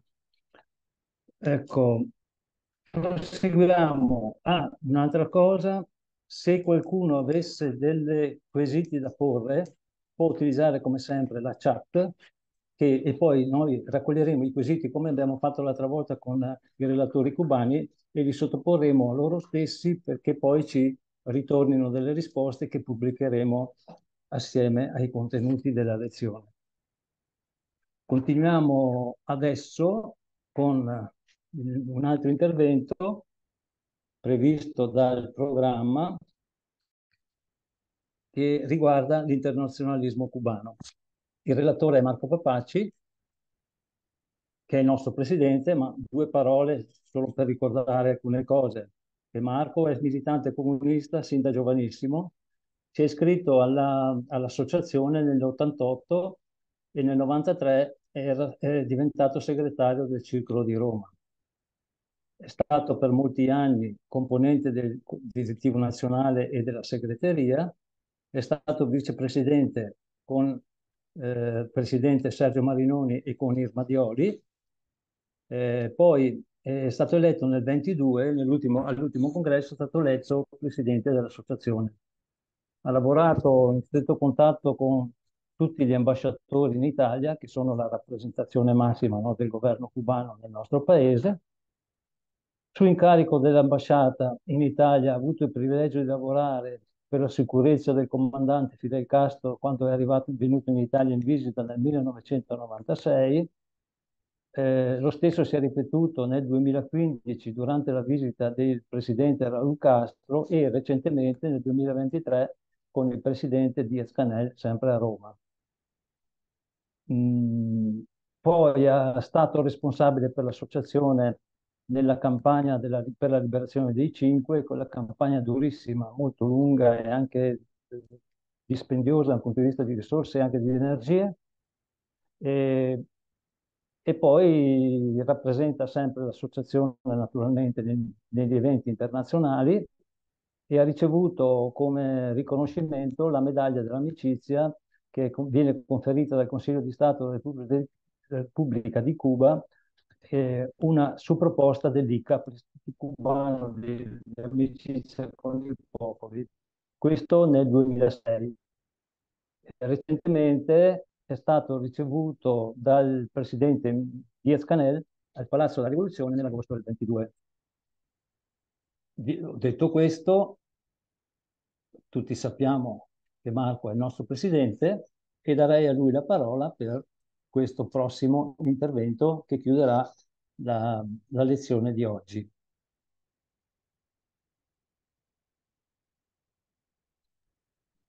Allora, eh, buonasera a tutte le compagne e compagni. In mezz'ora cercherò di riassumere sinteticamente l'internazionalismo cubano. So che è un'impresa, ma, ma cercherò di, di farcela.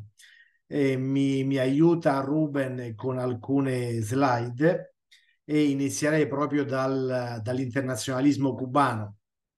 Eh, ditemi se, se le vedete. Ok. Allora, l'internazionalismo cubano, le, le colonne portanti della politica estera di Cuba sono l'internazionalismo, l'antiimperialismo, la solidarietà e l'unità tra paesi del terzo mondo.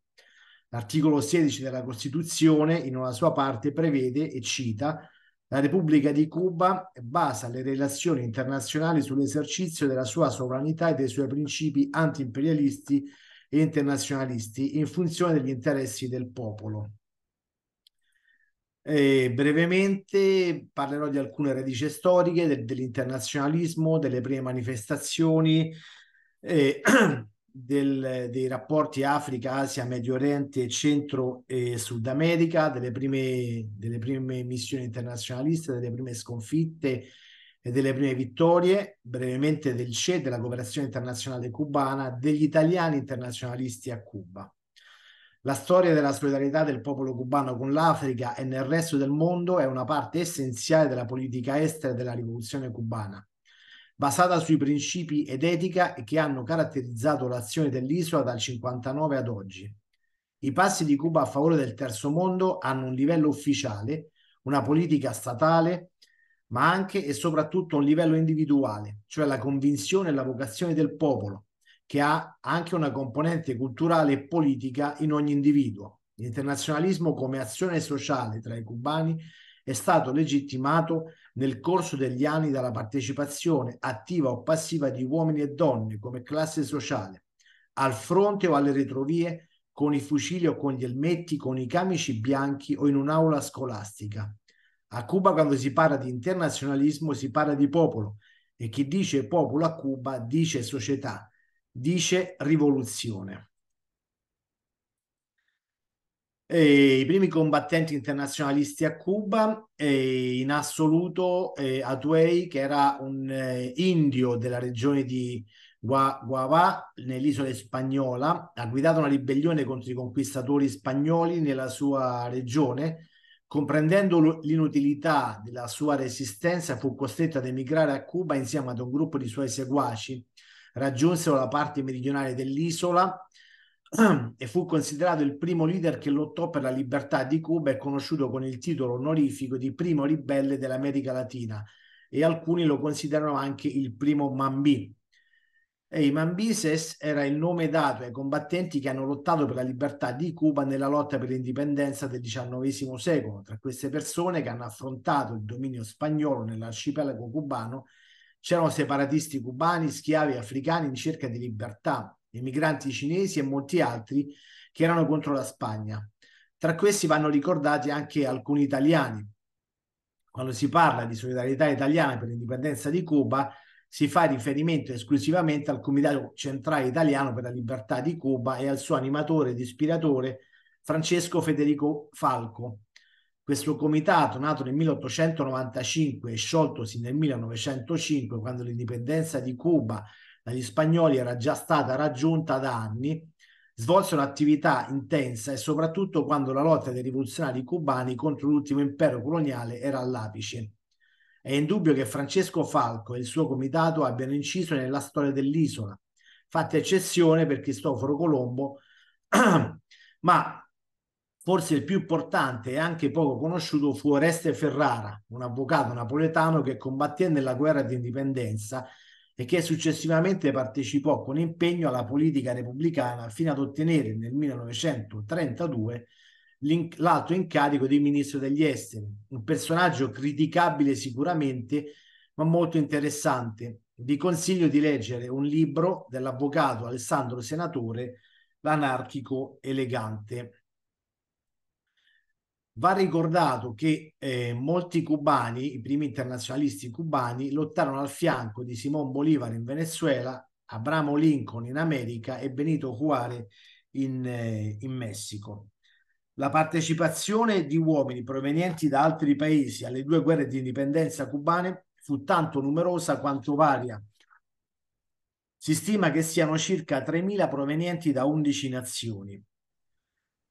Ehm, molti nomi e potrebbero rappresentare questa miriade di generosi combattenti per l'indipendenza dell'isola, e, e anche degli internazionalisti caduti nella prima guerra, ma nessuno più giovane, più coraggioso, più brillante e più vittorioso in combattimento fu l'americano Henry Reeve. Lottò al fianco di Ignacio Agramonte agli ordini di Massimo Gomez e poi ancora di Antonio Maseo. Bisogna ricordare che non c'è mai stata alcuna discriminazione o zero da parte dei Mambis nei confronti di questi fratelli che venivano a dare il loro contributo volontario e disinteressato. Il popolo cubano in armi fu grato per il gesto sublime di quegli uomini e si rese conto del debito che avevano contratto. Carlos Manuel de Céspedes, nella, nella sua qualità di, pa, di, presidente della Repubblica in armi, ha espresso sua, in una sua commovente lettera di condoglianze al venezuelano a Urugocea eh, quando i suoi figli morirono in combattimento per la liberazione di Cuba. Così come José Martí e Antonio Maseo dichiararono che la patria è umanità e Antonio Maseo in una sua frase eh, molto famosa disse il mio cuore e la mia anima sono sempre stati per Cuba e per il bene dell'umanità. L'apostolo cubano, quando fondò il Partito Rivoluzionario nel 1892, definì che era stato fondato per liberare Cuba e contribuire alla liberazione di Puerto Rico. E fedele a questo obiettivo anche il titano di bronzo, Antonio Maseo, affermò quando Cuba sarà indipendente chiederò al governo di rendere libero Puerto Rico perché non vorrei rinunciare alla spada lasciando schiava questa parte dell'America quando alla vigilia della sua morte a Dos Rios, José Martí dichiarò già ogni giorno corro il pericolo di dare la vita per il mio paese e per il mio dovere, perché lo capisco e ho il coraggio di compierlo, di impedire che in tempo, con l'indipendenza di Cuba, gli Stati Uniti si diffondano attraverso le Indie occidentali e cadano con questa forza supplementare sulle nostre terre d'America, tutto quello che ho fatto finora e che farò è per questo. Eh, vanno ricordati alcuni leader internazionalisti eh, cubani di pensiero internazionalista come Carlos Manuel de Céspedes, José Martí, Ruben Martínez Villena, Julio Antonio Meia e Pablo della Torrente Brau. Nella Repubblica neocoloniale lo spirito internazionalista rimerse negli anni venti con Ruben Martínez Villena che pubblicò la rivista Venezuela Libera, sulla rivista Venezuela Libera, la, la denuncia nei confronti della tirannia che in quel periodo eh, c'era in, in, Venezuela e, dive, e divenne il portavoce della Lega antiimperialista di Cuba. Julio Antonio Meia, che tutti conosciamo, dichiarò contro tutti gli imperialismi e specialmente contro l'ingerenza dell'imperialismo yankee nei nostri affari interni lotterò contro l'applicazione e l'esistenza dell'emendamento Platt per l'instaurazione di relazioni con l'Unione Sovietica. Ricordiamo che Meia fu assassinato nel 29 in Messico quando conduceva una lotta continentale contro l'imperialismo. Nel 1936 scoppiò la guerra civile in Spagna e le brigate internazionali si mobilitarono scrivendo una delle pagine più belle dell'internazionalismo proletario. Il popolo cubano, come eh, tanti altri popoli del mondo, inviò quasi mille combattenti a combattere in Spagna contro il fascismo. Va ricordato uno, un grande personaggio dalla dimensione umana enorme, Pablo del, della Torrente Brau. e che ha dato la sua vita eh, in maniera generosa. A Cuba il sentimento internazionalista avrà due espressioni molto tangibili in un giovane studente che cinque anni dopo assumerà il ruolo storico di leader della rivoluzione cubana e stiamo parlando del compagno presidente Fidel Castro Ruz. Fidel, nel prima, di, prima di diventare il capo della rivoluzione cubana, partecipò alla spedizione a Caio Conflite nella Repubblica Dominicana per cercare di rovesciare il governo dittatoriale di Trujillo e successivamente partecipò in Colombia eh, eh, ai movimenti eh, insurrezionali e di protesta quando fu ucciso il leader Elisier Gaitan il 9 aprile del 1948. E il 2 dicembre del 56 lo Yagramma arriva sulle coste della patria. Tra gli 82 partecipanti guidati da Fidel Castro c'erano diversi combattenti internazionalisti. Uno di questi rappresenta l'apice dell'internazionalismo. Erano Che Guevara, che era argentino, Gino Donè, il nostro Gino Donè, che era italiano, Ramón Mejías del Castillo, che era dominicano, e Antonio del Conde, che era messicano. La rivoluzione cubana trionfò dopo una dura lotta di quasi due anni. Il primo gennaio del 59, grazie all'eroismo e al sacrificio e alla crescente unità del popolo e all'accurata leadership di Fidel Castro. L'impero statunitense ha immediatamente messo in gioco tutte le sue risorse, dall'aggressione militare al blocco economico, per liquidare la rivoluzione. Durante quegli anni cruciali la solidarietà multiforme del campo socialista europeo ed in particolare dell'Unione Sovietica, così come della Cina e di altri paesi, hanno aiutato Cuba ad affrontare l'assalto imperialista in tutti i campi, a resistere e a sconfiggerlo. Va ricordato che ci fu un primo tentativo di soffocare la rivoluzione cubana nel 1959. Il tiranno dominicano Rafael Leonardo Leo, Leonidas Trujillo guidò una cospirazione contro l'isola, ma tutto si concluse con l'imbarazzante fallimento del dittatore. e, mentre, mentre, accadeva questo, un gruppo di rivoluzionari eh, dominicani e internazionalisti cubani si preparava nei campi a trasferirsi nell'isola vicina e iniziare la lotta armata contro il regime più sanguinario che l'America Latina avesse conosciuto fin da allora.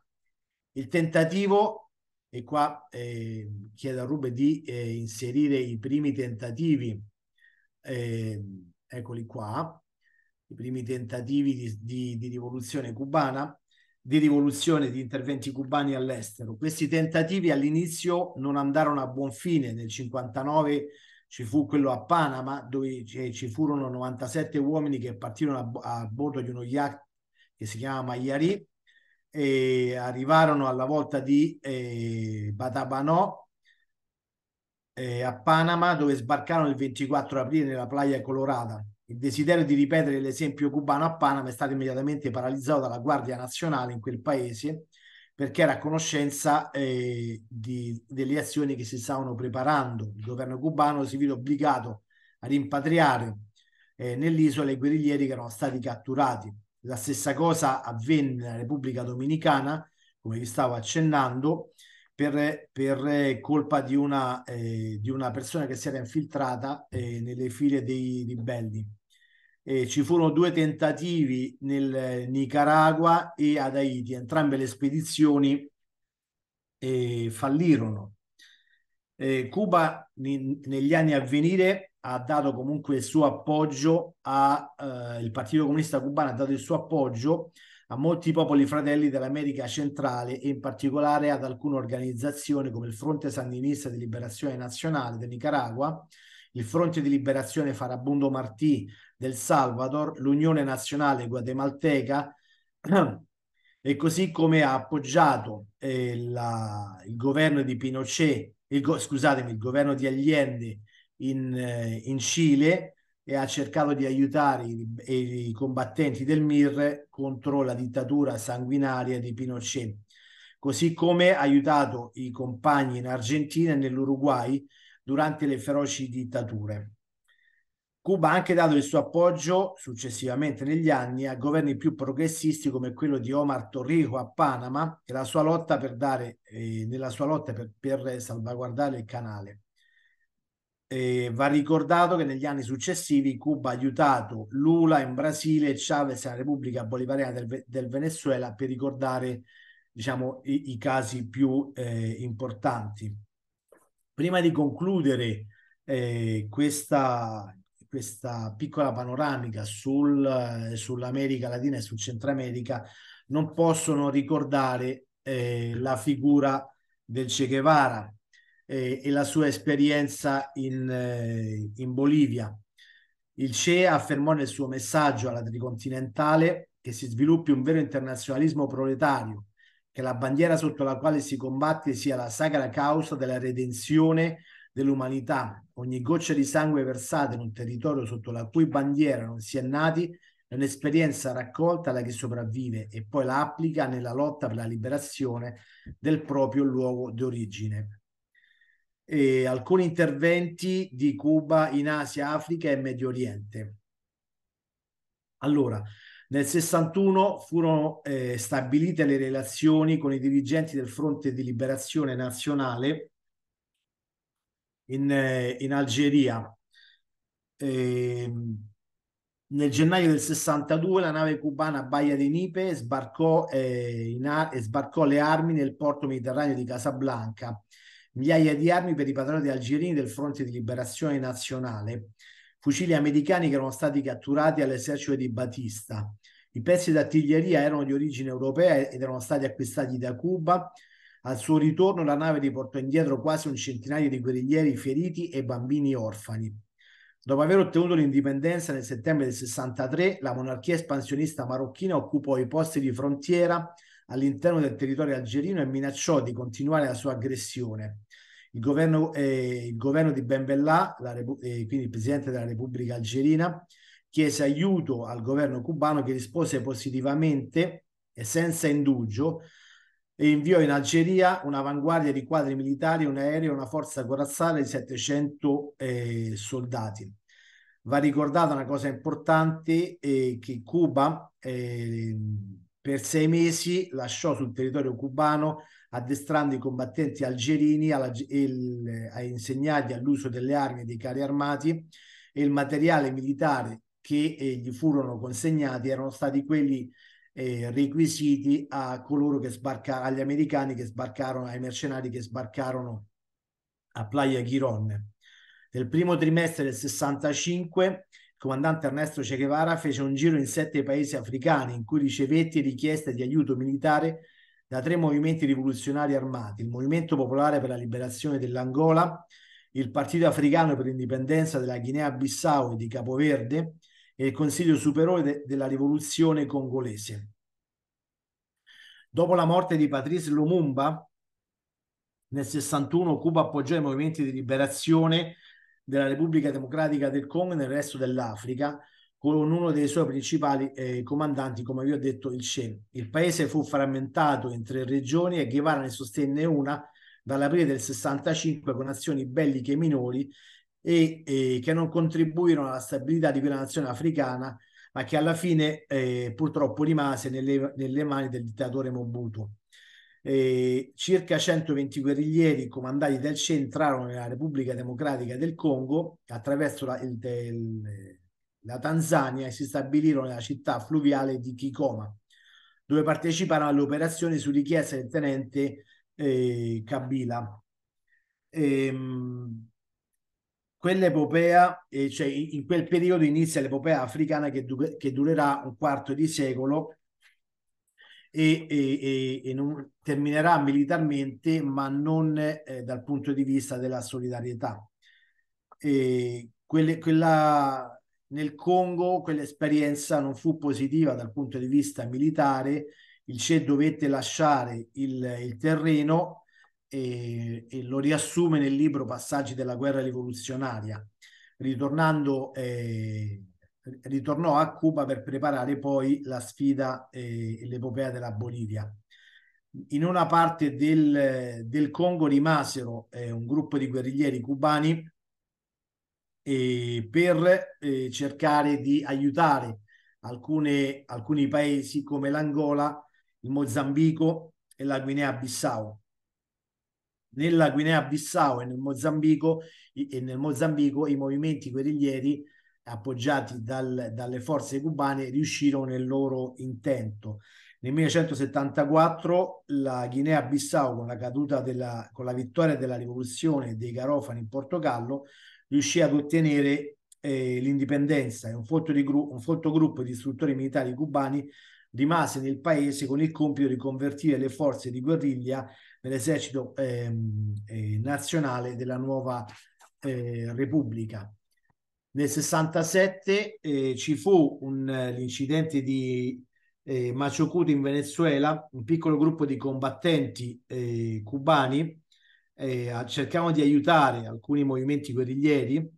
eh, del, del, Venezuela. vi parteciparono alcuni comandanti come Raúl Menéndez, Tomasevich e Ulisse Rosario del Toro, che anni dopo raggiunsero il grado di generali e furono decorati come eroi di Cuba.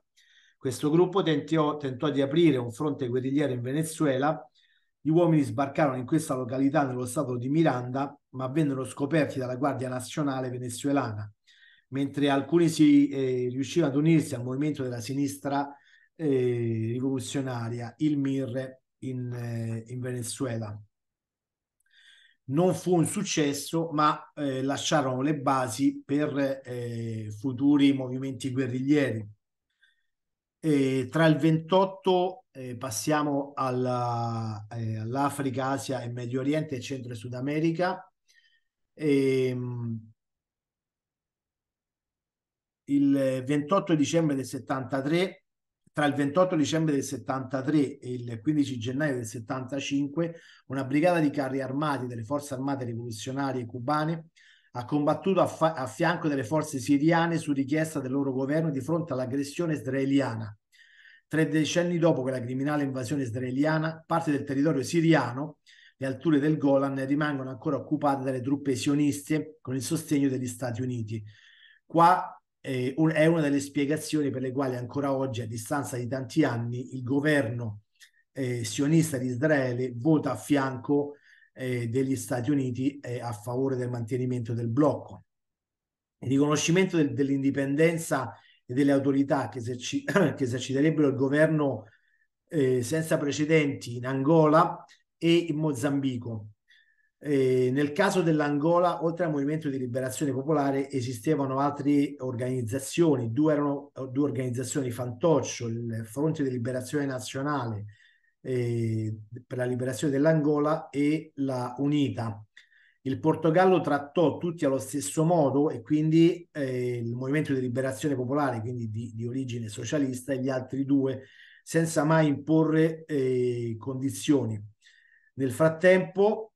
nel 75, nel gennaio del 75, si è arrivati alla, alla, alle elezioni e all'Assemblea Costituente per arrivare poi alla richiesta di indipendenza. Ma prima di arrivare la richiesta di indipendenza dell'Angola, eh, con l'aiuto della CIA, il governo degli Stati Uniti decise di condurre un'operazione segreta per impedire appunto al Movimento Popolare di Liberazione di eh, salire al potere. Eh, ci furono tutta una serie di scontri e Agostino Neto, presidente, futuro presidente, chiese aiuto a Cuba e Cuba in, intervenne. Nei primi mesi del 75 il presidente Agostino Neto riuscì a, a votare come presidente. L'Angola il 27 marzo del 76 eh, furono espulsi eh, tutti eh, i mercenari bianchi, furono rimandati al confine con la Namibia eh, grazie all'aiuto di 35.000 combattenti cubani insieme a migliaia di soldati eh, della Namibia e l'Angola venne, venne saldata. Eh, vale la pena ricordare alcuni nomi di località come Cabamba e Guido Cannevale che rimasero impresse nella storia delle missioni militari cubane eh, perché impedirono le vittorie in queste due località, impedirono la, la nascita della Repubblica Nera dell'Angola meridionale il nemico fuggiva pre- precipitosamente di fronte alle truppe cubane e angolane, del, e angolane del Movimento Popolare di Liberazione. La vittoria dell'Angola di fronte all'invasione straniera, la permanenza delle truppe cubane in quel paese e la, collaboraz- e la collaborazione attiva dei combattenti dello Zimbabwe, della Namibia e sudafricani del, eh, dei sudafricani neri hanno avuto un impatto favorevole sulla futura soluzione dello, della eh, dello Zimbabwe, della Namibia e infine del Sudafrica. Gli istruttori militari cubani addestrarono oltre 20.000 combattenti. Questa preparazione dei combattenti dei tre popoli oppressi dal regime razzista dell'apartheid e della sua creatura, Ian Smith, è stata mantenuta per tutto il decennio degli anni Ottanta e ha costituito un aiuto decisivo alla lotta dei patrioti. In Angola il governo presieduto da, prima da Neto e poi da Santos e quelli di Cuba e dell'Unione Sovietica lavorarono a stretto contatto nello sforzo di liberare il Sudafrica dall'oppressione razzista. In tutto questo, nel mezzo, eh, nel mezzo di questa guerra, nel mezzo dello, eh, eh, dello sforzo nell'Africa subsahariana, nel luglio del 77 iniziò la guerra di aggressione della Somalia contro l'Etiopia il governo rivoluzionario guidato da Mengistu Haile Marian sta portando avanti un compito gigantesco per trasformare questo paese devastato per 40 anni dalla, dalla tirannia corrotta e rapace dell'imperatore Haile Selassie e trasformato in una delle nazioni più povere del mondo. Gli espansionisti somali del governo di Siad Barre eh, rivendicarono più di 300.000 chilometri di territorio etiope le sue forze meglio armate e finanziate dallo Shah di Persia, dall'Egitto e da altri paesi arabi reazionari e più tardi dalla Nato erano, erano riuscite a penetrare fino alle vicinanze di Harar, dove i patrioti etiopi opposero un'eroica resistenza. L'Etiopia chiese eh, a Cuba un aiuto nel dicembre del 77 per fermare, per fermare l'avanzata della Somalia e spingere ai suoi confini e salvare l'integrità territoriale del grande paese del Corno d'Africa. Gli internazionalisti cubani partirono il 22 gennaio del 78 ed entrarono immediatamente nella battaglia insieme agli etiopi. È il battesimo di fuoco dell'operazione eh, chiamata Protesta di Baragua. A più di 15.000 km dall'isola ci sono voluti due giorni per arrivarci in aereo e tre settimane in, in, in nave. Le truppe corazzate cubane riuscirono a sconfiggere gli invasori la vittoria sull'ultimo e principale bastione degli invasori spezza l'appetito espansionistico del regime somalo. Le truppe della Somalia si ritirarono verso il confine e l'integrità eh, nazionale del territorio era, è stata ripristinata l'11 marzo del 78. Per diversi anni un forte distaccamento di truppe cubane rimase in Etiopia fino a quando cessò il pericolo di un nuovo tentativo di intervenzione nell'87 scoppia di nuovo la guerra in Angola. E, nella zona di Guido Canavale il presidente razzista Peter Bota con un gruppo di ministri entrò, eh, passò in rassegna le truppe già nel territorio angolano. E, tale arroganza con l'appoggio degli Stati Uniti e, e con, la, e con eh, la, il possesso di sei bombe atomiche eh, mise in serio pericolo la, eh, l'indipendenza dell'Angola. Il presidente Dos Santos chiese aiuto a Cuba e immediatamente eh, i cubani eh, inviarono e si attivarono appunto per difendere questo territorio. Guido Canavale è diventato una roccaforte inespugnabile e una trappola per il nemico e definitivamente la sua tomba.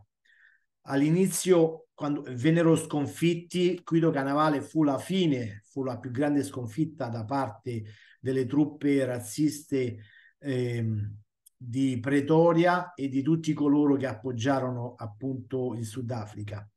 All'inizio dell'87, sotto legge degli Stati Uniti che eh, funge, eh, ebbero la funzione di mediatori, e sono iniziati all'ombra i negoziati tra il Sudafrica, una parte dell'Angola e Cuba il secondo incontro si tenne al Cairo alla fine di giugno, mentre un altro era previsto eh, a New York. Il 22 dicembre dell'88 furono firmati gli accordi di pace e Cuba eh, eh, era tra coloro che firmarono gli accordi. eh, quel il 21 marzo del 90 il processo di decolonizzazione della Namibia culminò con la vittoria della SWAPO alle elezioni e l'ascesa di San, eh, San eh, Giunoma a capo del, del nascente Stato della Namibia. La delegazione cubana era commossa quando, vin- quando eh, fu ammainata eh, la bandiera del Sudafrica eh, razzista e venne eh, innalzata quella del, della Namibia liberata. Come, come Cuba si emozionò quando finalmente poterono abbracciare Nelson Mandela libero grazie alla lotta eh, del, degli internazionalisti cubani. Il 25 maggio del 91, 36 giorni prima della data fissata degli accordi dell'ONU, gli ultimi 100 combattenti internazionalisti cubani rimasti in Angola arrivarono a Cuba con cinque aerei. L'epopea militare di Cuba nell'Africa, iniziata dal CE il 14 maggio del 65, giunse a una conclusione positiva. Era durata 26 anni, con 380.000 combattenti, 70.000 collaboratori, 450.000 uomini e donne cubani. 2.000 di loro hanno generosamente dato la vita per la causa della libertà e del progresso in Africa. E va ricordata una cosa importante, eh, dopo vent'anni dal trionfo del 59, quindi nel 1979, un'altra rivoluzione vinse in, eh, nel continente eh, centro-latinoamericano Eccola qua, la vediamo, la rivoluzione sandinista del Nicaragua. In Nicaragua la, la, guerra fredda tra Stati Uniti e l'ex Unione Sovietica ha avuto la sua particolare battaglia contro le dittature di quel paese centroamericano e l'appoggio dei cubani e minor parte dei sovietici al fronte sandinista di liberazione nazionale. Nel luglio del 79 il fronte sandinista riuscì a rovesciare Anastasio Somoza e istituire una giunta di governo per la ricostruzione nazionale che fu sostenuta dal governo cubano dall'ex Unione Sovietica, con un patto di cooperazione economica e nel 92, a causa del blocco economico imposto da Reagan un anno prima. Va ricordato che anche in questo caso molti cubani parteciparono alla vittoria della rivoluzione in Nicaragua. Eh, volevo parlarvi del CE, ma sul CE sono state dette tante cose, eh, semplicemente ricordare alcune co come sua figura più importante. Eh, ho fatto un breve excursus, il CE è stato, eh, ve l'ho messa in questa eh, diapositiva, nel 1954 si unisce, in, partecipa alla, alle manifestazioni, alla battaglia contro il colpo di Stato di Arbenz in Guatemala, in Messico si riunisce con i cubani, incontra Raúl Castro che presenta suo fratello eh, Fidel, quella notte immediatamente decide di unirsi alla alla, alla futura spedizione del Gramma per abbattere il dittatore Fulgenzio Batista. Guevara, il CE non sarebbe stato solo eh, semplicemente il medico, partecipò all'addestramento militare insieme con gli altri membri del movimento guerrigliero. Alla fine fu segnalato dall'istruttore il colonnello Alberto Baio, che era un comandante internazionalista nella guerra di Spagna, come il migliore degli allievi. Sulla Serra Maestra si, si, distinse per le sue capacità di guerrigliere e fu nominato comandante. Fu l'artefice della, della, vittoria di Santa Clara. Eh, fu direttore dell'Istituto Nazionale per la Riforma Agraria, della Banca Nazionale e ministro dell'Industria. In questa posizione contribuì a modellare il, socialismo cubano, diventando una delle, delle figure politiche più importanti. Nel 64 eh, andò a New York e rappresentò Cuba all'Assemblea Generale delle Nazioni Unite. E iniziò e un lungo viaggio di tre mesi, visitò la Cina, l'Egitto, l'Algeria, il Ghana, la Guinea, il Mali, il Dahomey, il Congo, Brasile, la Tanzania e si fermò a, in Irlanda, a Parigi e successivamente a Praga. Ad Algeri il 24 febbraio del 65 fece la sua ultima apparizione pubblica partecipando al secondo seminario internazionale sulla solidarietà afroamericana e affermò in questa lotta fino alla morte non ci sono frontiere, non possiamo rimanere indifferenti di fronte a quanto accade in ogni parte del mondo. Una vittoria di qualsiasi nazione contro l'imperialismo è una nostra vittoria, come una sconfitta di qualsiasi nazione è una nostra sconfitta. Nel 65 decise di andare in Congo, vi ho detto come sono andato, vi ho appena accennato come andò a finire quell'esperienza, ritornò a Cuba e rimase un tempo in Tanzania a Dar es Salaam e successivamente a Praga. E rientrò a Cuba clandestinamente per preparare poi la spedizione in, eh, in Bolivia. La storia della Bolivia è nota così come lo ha, eh, chi lo ha tradito, in primis il Partito Comunista Boliviano.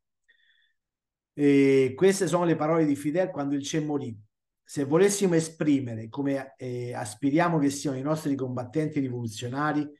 i nostri militanti, i nostri uomini, dobbiamo dire senza citazione che siano come il Che. Se volessimo esprimere come vogliamo che siano gli uomini delle generazioni future, dobbiamo dire che siano come il cielo. Passiamo all'aiuto di Cuba al mondo. Ecco alcune slide, alcune le conoscete. Eh, lo spirito di solidarietà della rivoluzione cubana eh, si è trasformato dopo, la, dopo, gli interventi militari eh, che vi ho accennato praticamente sono state tolte le divise verde oliva e sono state sostituite dai camici bianchi degli infermieri, dei medici e dagli operai di laboratorio. Lo spirito di solidarietà della rivoluzione cubana verso i suoi popoli fratelli si esprime non solo nella sua, come vi ho appena detto, nella lotta armata, ma anche nel campo della sanità pubblica, dell'educazione, dell'edilizia e numerosi altri campi della scienza e della tecnologia, nonché aiuti di emergenza in caso di calamità naturali, L'opinione pubblica mondiale potrebbe ritenere che Cuba non sia in grado di fornire aiuti solidali ad altri popoli nella situazione attuale in cui versa il paese e l'universo. Tuttavia, coloro che la pensano così rimarranno stupiti dai seguenti dati.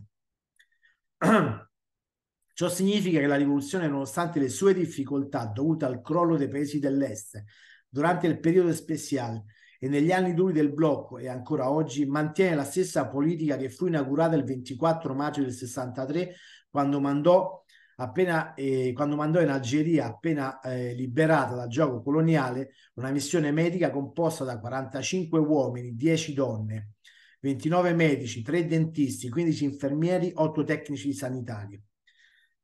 Ogni volta che si è verificata una grave catastrofe naturale in qualsiasi parte del mondo, Cuba è stata pronta a prestare la sua assistenza urgente e senza alcun riguardo per il regime solidario per il carattere del governo del territorio. Nell'esempio, l'aiuto dato al popolo cileno quando ha subito i terremoti del 60 e del 71, in Perù dove, sono, sta- dove sono stati inviati migliaia di medici d'emergenza, ma anche il sangue che 100.000 cubani hanno dato per le vittime di quel disastro. Successivamente le brigate di costruzione cubane costruirono 15 ospedali nel paese andino. All'epoca del terremoto che eh, devastò il Nicaragua nel 72 vi regnava l'odiato tiranno della dinastia Somoza. Ciò non ha impedito l'arrivo immediato dell'ospedale eh, del sangue, del personale sanitario e dei medici necessari dei medici cubani necessari in questi casi. L'Honduras nel 74,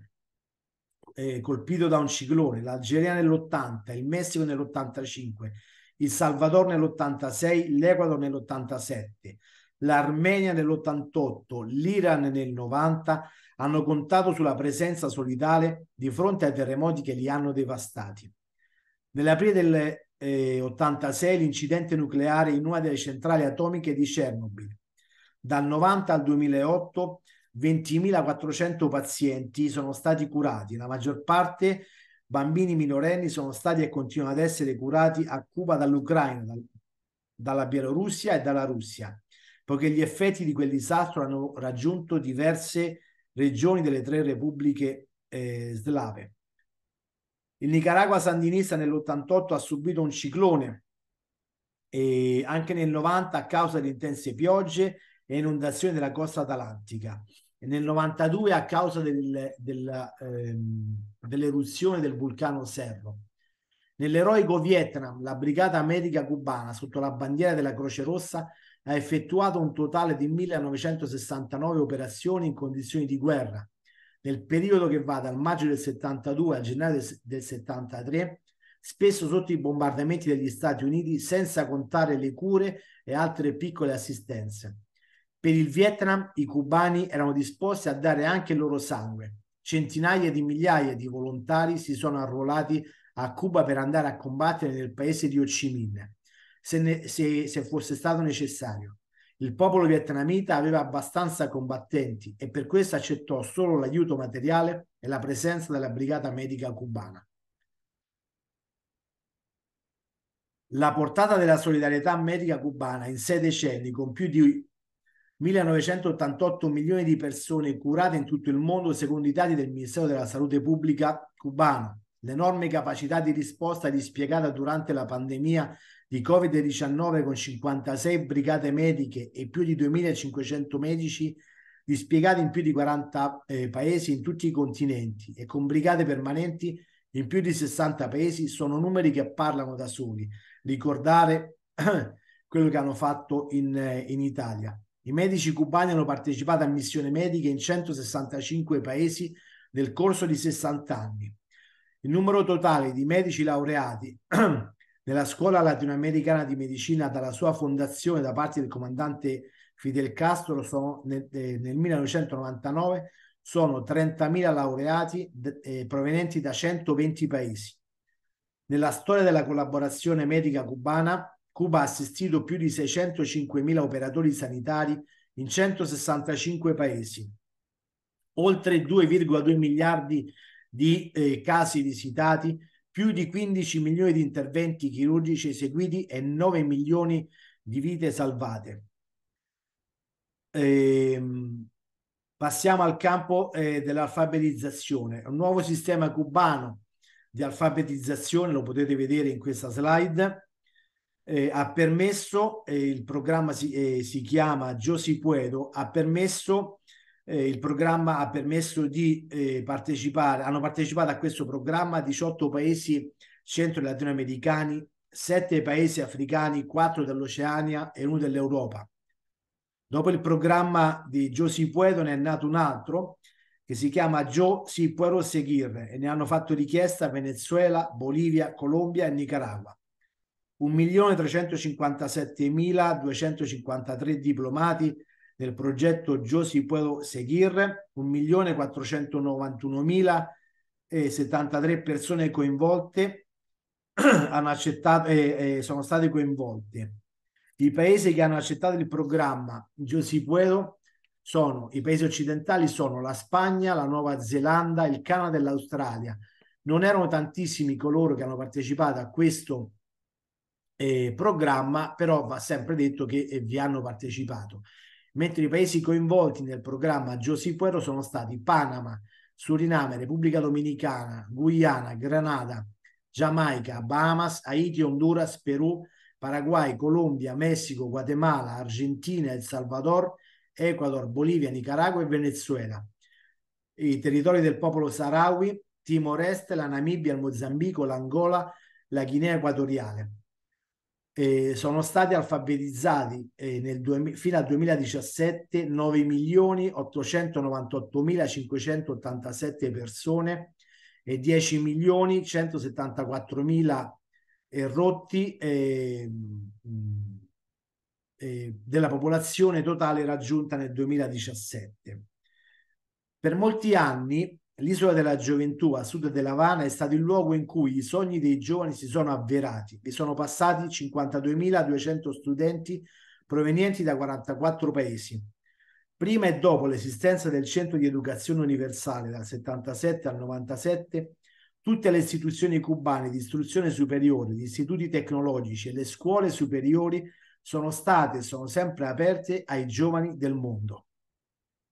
Va ricordato che Cuba al momento del trionfo della rivoluzione aveva una popolazione di 6 milioni e mezzo di abitanti. Il 23,6%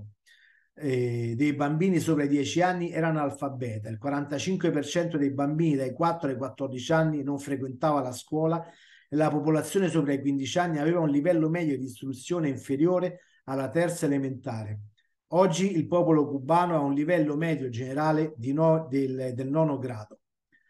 Va ricordato che ogni anno 1500 studenti entrano nella scuola latinoamericana di, di medicina e la maggior parte di loro è proveniente da famiglie umili e dai luoghi più remoti del mondo. Con questa iniziativa Fidel ci ha insegnato ancora una volta che la pratica dell'internazionalismo è pagare il proprio debito con eh, l'umanità. Pur essendo un'opera collettiva come ogni opera della rivoluzione cubana, scusate, la seconda dichiarazione dell'Havana costituisce la sintesi originale, integrale e imperitura dell'ideologia terzomondista e latinoamericana di Fidel. Sono trascorsi 60 anni dal 4 febbraio del 62, quando fu approvata con applausi alzati di mano da più di un milione di persone riuniti nella piazza della rivoluzione José Martí, in rappresentanza della stragrande maggioranza del popolo cubano. Le condizioni oggi sono cambiate, così come le caratteristiche, i mezzi e i metodi delle lotte popolari in tutto il mondo. Tuttavia, i valori e i principi internazionalisti, terzomondisti e latinoamericani racchiusi in quel documento storico sono sempre la bussola immancabile con cui il Partito Comunista, il governo, le organizzazioni di massa e sociali e la società cubana in generale effettuano gli aggiornamenti e gli aggiustamenti eh, periodici essenziali delle loro rispettive eh, relazioni internazionali. Ripeto, è impossibile riassumere in questa mezz'ora, nemmeno nei suoi termini più generali, la solidarietà internazionale civile e militare offerta dalla rivoluzione cubana agli altri popoli di tutte le latitudini del mondo. Senza la pretesa di colmare questo vuoto, ho azzardato qualche esempio sulla sua storia, sulla storia dell'internazionalismo del popolo cubano nella sua condizione di compagno di lotta più fermo e leale dell'America Latina e dei Caraibi e non solo. Vado verso la conclusione. Il 26 luglio del 78, valutando l'importanza per Cuba dell'aiuto internazionale ricevuto nel corso della storia, il comandante in capo Fidel Castro affermò L'internazionalismo è l'essenza più bella del marxismo-leninismo e dei suoi ideali di solidarietà e fraternità tra i popoli. Senza l'internazionalismo la rivoluzione cubana non esisterebbe nemmeno. Essere internazionalisti significa pagare il nostro debito con l'umanità. Quando per la prima volta divenne presidente Diaz-Canel all'Assemblea Generale delle Nazioni Unite, dichiarò il ricambio generazionale del nostro governo non deve ingannare gli avversari della rivoluzione. Noi siamo continuità e non rottura. Voglio concludere con alcune slide eh, velocemente perché vedo che eh, abbiamo sforato di parecchio. Ruber passa direttamente agli, agli italiani internazionalisti. Voglio ricordare alcuni italiani eh, poco conosciuti. Mauro Casagrandi è stato un imprenditore italiano eh, con un padre diplomatico italiano di destra, ha vissuto a Roma e in altre città. Durante la sua giovinezza si è trasferito a Cuba nel 66, eh, poco dopo la rivoluzione cubana del 59, come rappresentante del Comei. Era eh, un'azienda italiana che comprendeva la Fiat e la Olivetti. Nell'82 venne nominato cavaliere del Sovrano Ordine di Militare e divenne ambasciatore dell'Ordine di Cuba dell'ordine a Cuba. Durante i suoi viaggi all'estero venne contattato dalla CIA sper che sperava di utilizzarlo per raccogliere informazioni privilegiate sulla Cuba di Fidel Castro. Mauro Casagrandi accettò l'offerta in Spagna, ma con l'intenzione di favorire il governo cubano che invece lui sosteneva. Divenne quindi un doppio agente del governo cubano. Nell'87 è stato premiato dal governo cubano per essere, per essere riuscito a infiltrare eh, nella CIA. Per questo servizio reso a Cuba gli è stata consegnata la medaglia all'ordine della solidarietà dal presidente Fidel Castro e da Raúl Castro. Vittorio Vidali, il mitico comandante Carlos, viaggiò a Cuba tantissime volte, era uno dei fondatori dell'associazione Italia-Cuba, qua lo vediamo ritratto insieme al comandante Ernesto Che Guevara. Paolo Finardi, detto Pastecca, era un bergamasco di, di origine ma milanese di adozione, era un componente della, della Volante Rossa e, e, e dovette esiliarsi in Cecoslovacchia e, fino, alla sua, fino a quando Pertini gli concesse la grazia. Collaborò con in Cecoslovacchia e si mise al servizio di questo paese, ma coronò il sogno e raggiunse Cuba nel 60 e lavorò presso il Ministero dell'Industria alle dipendenze del comandante Ernesto Che Guevara. Lo stesso vale per Francesco Morannino, il comandante Gemisto, fu, eh, fu una stra straordinaria figura di, eh, di, militante comunista internazionale. a Praga, a Berlino Est, a Budapest, a Cuba e a Bucarest. Anche lui rientrò in Italia quando gli, gli venne concessa la grazia da Saragat. Lo vediamo con il CE.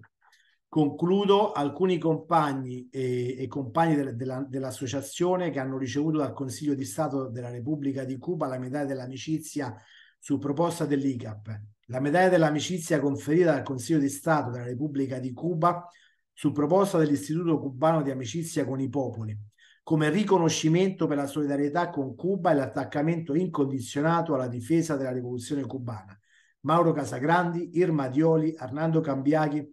Sergio Marinoni, Marco Papacci, Graziella Vietto, Luciano Manzi, Franco Lucchetta, Rodolfo Dalpane, Gianni Minà, Vando Martinelli, Franco Mancini, Gildo Caimi e Franco Forconi. Concludo la solidarietà e la tenerezza dei popoli. Lo que le molesta de Cuba no son los errores de la revolución, que lo subo y lo hay. Lo que realmente no puede soportar es que un país pobre y chiquitico no se dobleghe ante el imperio. Ciò che li preoccupa di Cuba non sono gli errori della rivoluzione che ci sono stati, ci sono e ci saranno. Quelli che non sopportano è che un povero paese piccolo non si pieghi all'impero. Grazie, scusate, mi sono allungato moltissimo, spero di non avervi eh, annoiato e grazie a tutti quanti. Allora Marco, ti ringraziamo per, eh, ti ringraziamo per questa lezione dal taglio molto storico che, eh, che comunque ha identificato, diciamo, il secondo carattere della, eh, della Repubblica di Cuba e della rivoluzione cubana, cioè dopo il socialismo, l'internazionalismo e, e, e soprattutto... So, sarebbe scontato dire che comunque ci sono, ci sono paesi, ci sono stati che esportano la guerra e stati che invece esportano l'internazionalismo. Però ci troviamo comunque in una realtà nella quale questa antinomia, nella quale questa distinzione esiste e purtroppo non viene molto spesso, eh, diciamo, non viene sottolineata abbastanza spesso per il fatto soprattutto che, eh, diciamo, ciò che viene esportato all'esterno è ciò che maggiormente rappresenta la politica di uno Stato, la visione che uno Stato ha del mondo.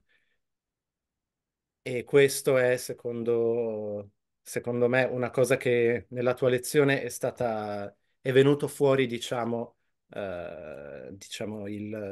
la visione che Cuba ha della politica estera e soprattutto del mondo nel quale eh, i cubani vorrebbero vivere loro stessi e vorrebbero che noi, in quanto internazionalisti, vivessimo di, di, eh, di riflesso. Uh, vi ringraziamo tutti quanti compagni, sappiamo che è molto tardi, vi ricordiamo l'appuntamento di settimana prossima che avrà come tema i diritti umani e le missioni diplomatiche eh, di Cuba eh, nel mondo. Quindi vi ringraziamo e vi diamo appuntamento a mercoledì prossimo. Grazie a tutti. Grazie a voi, grazie per l'attenzione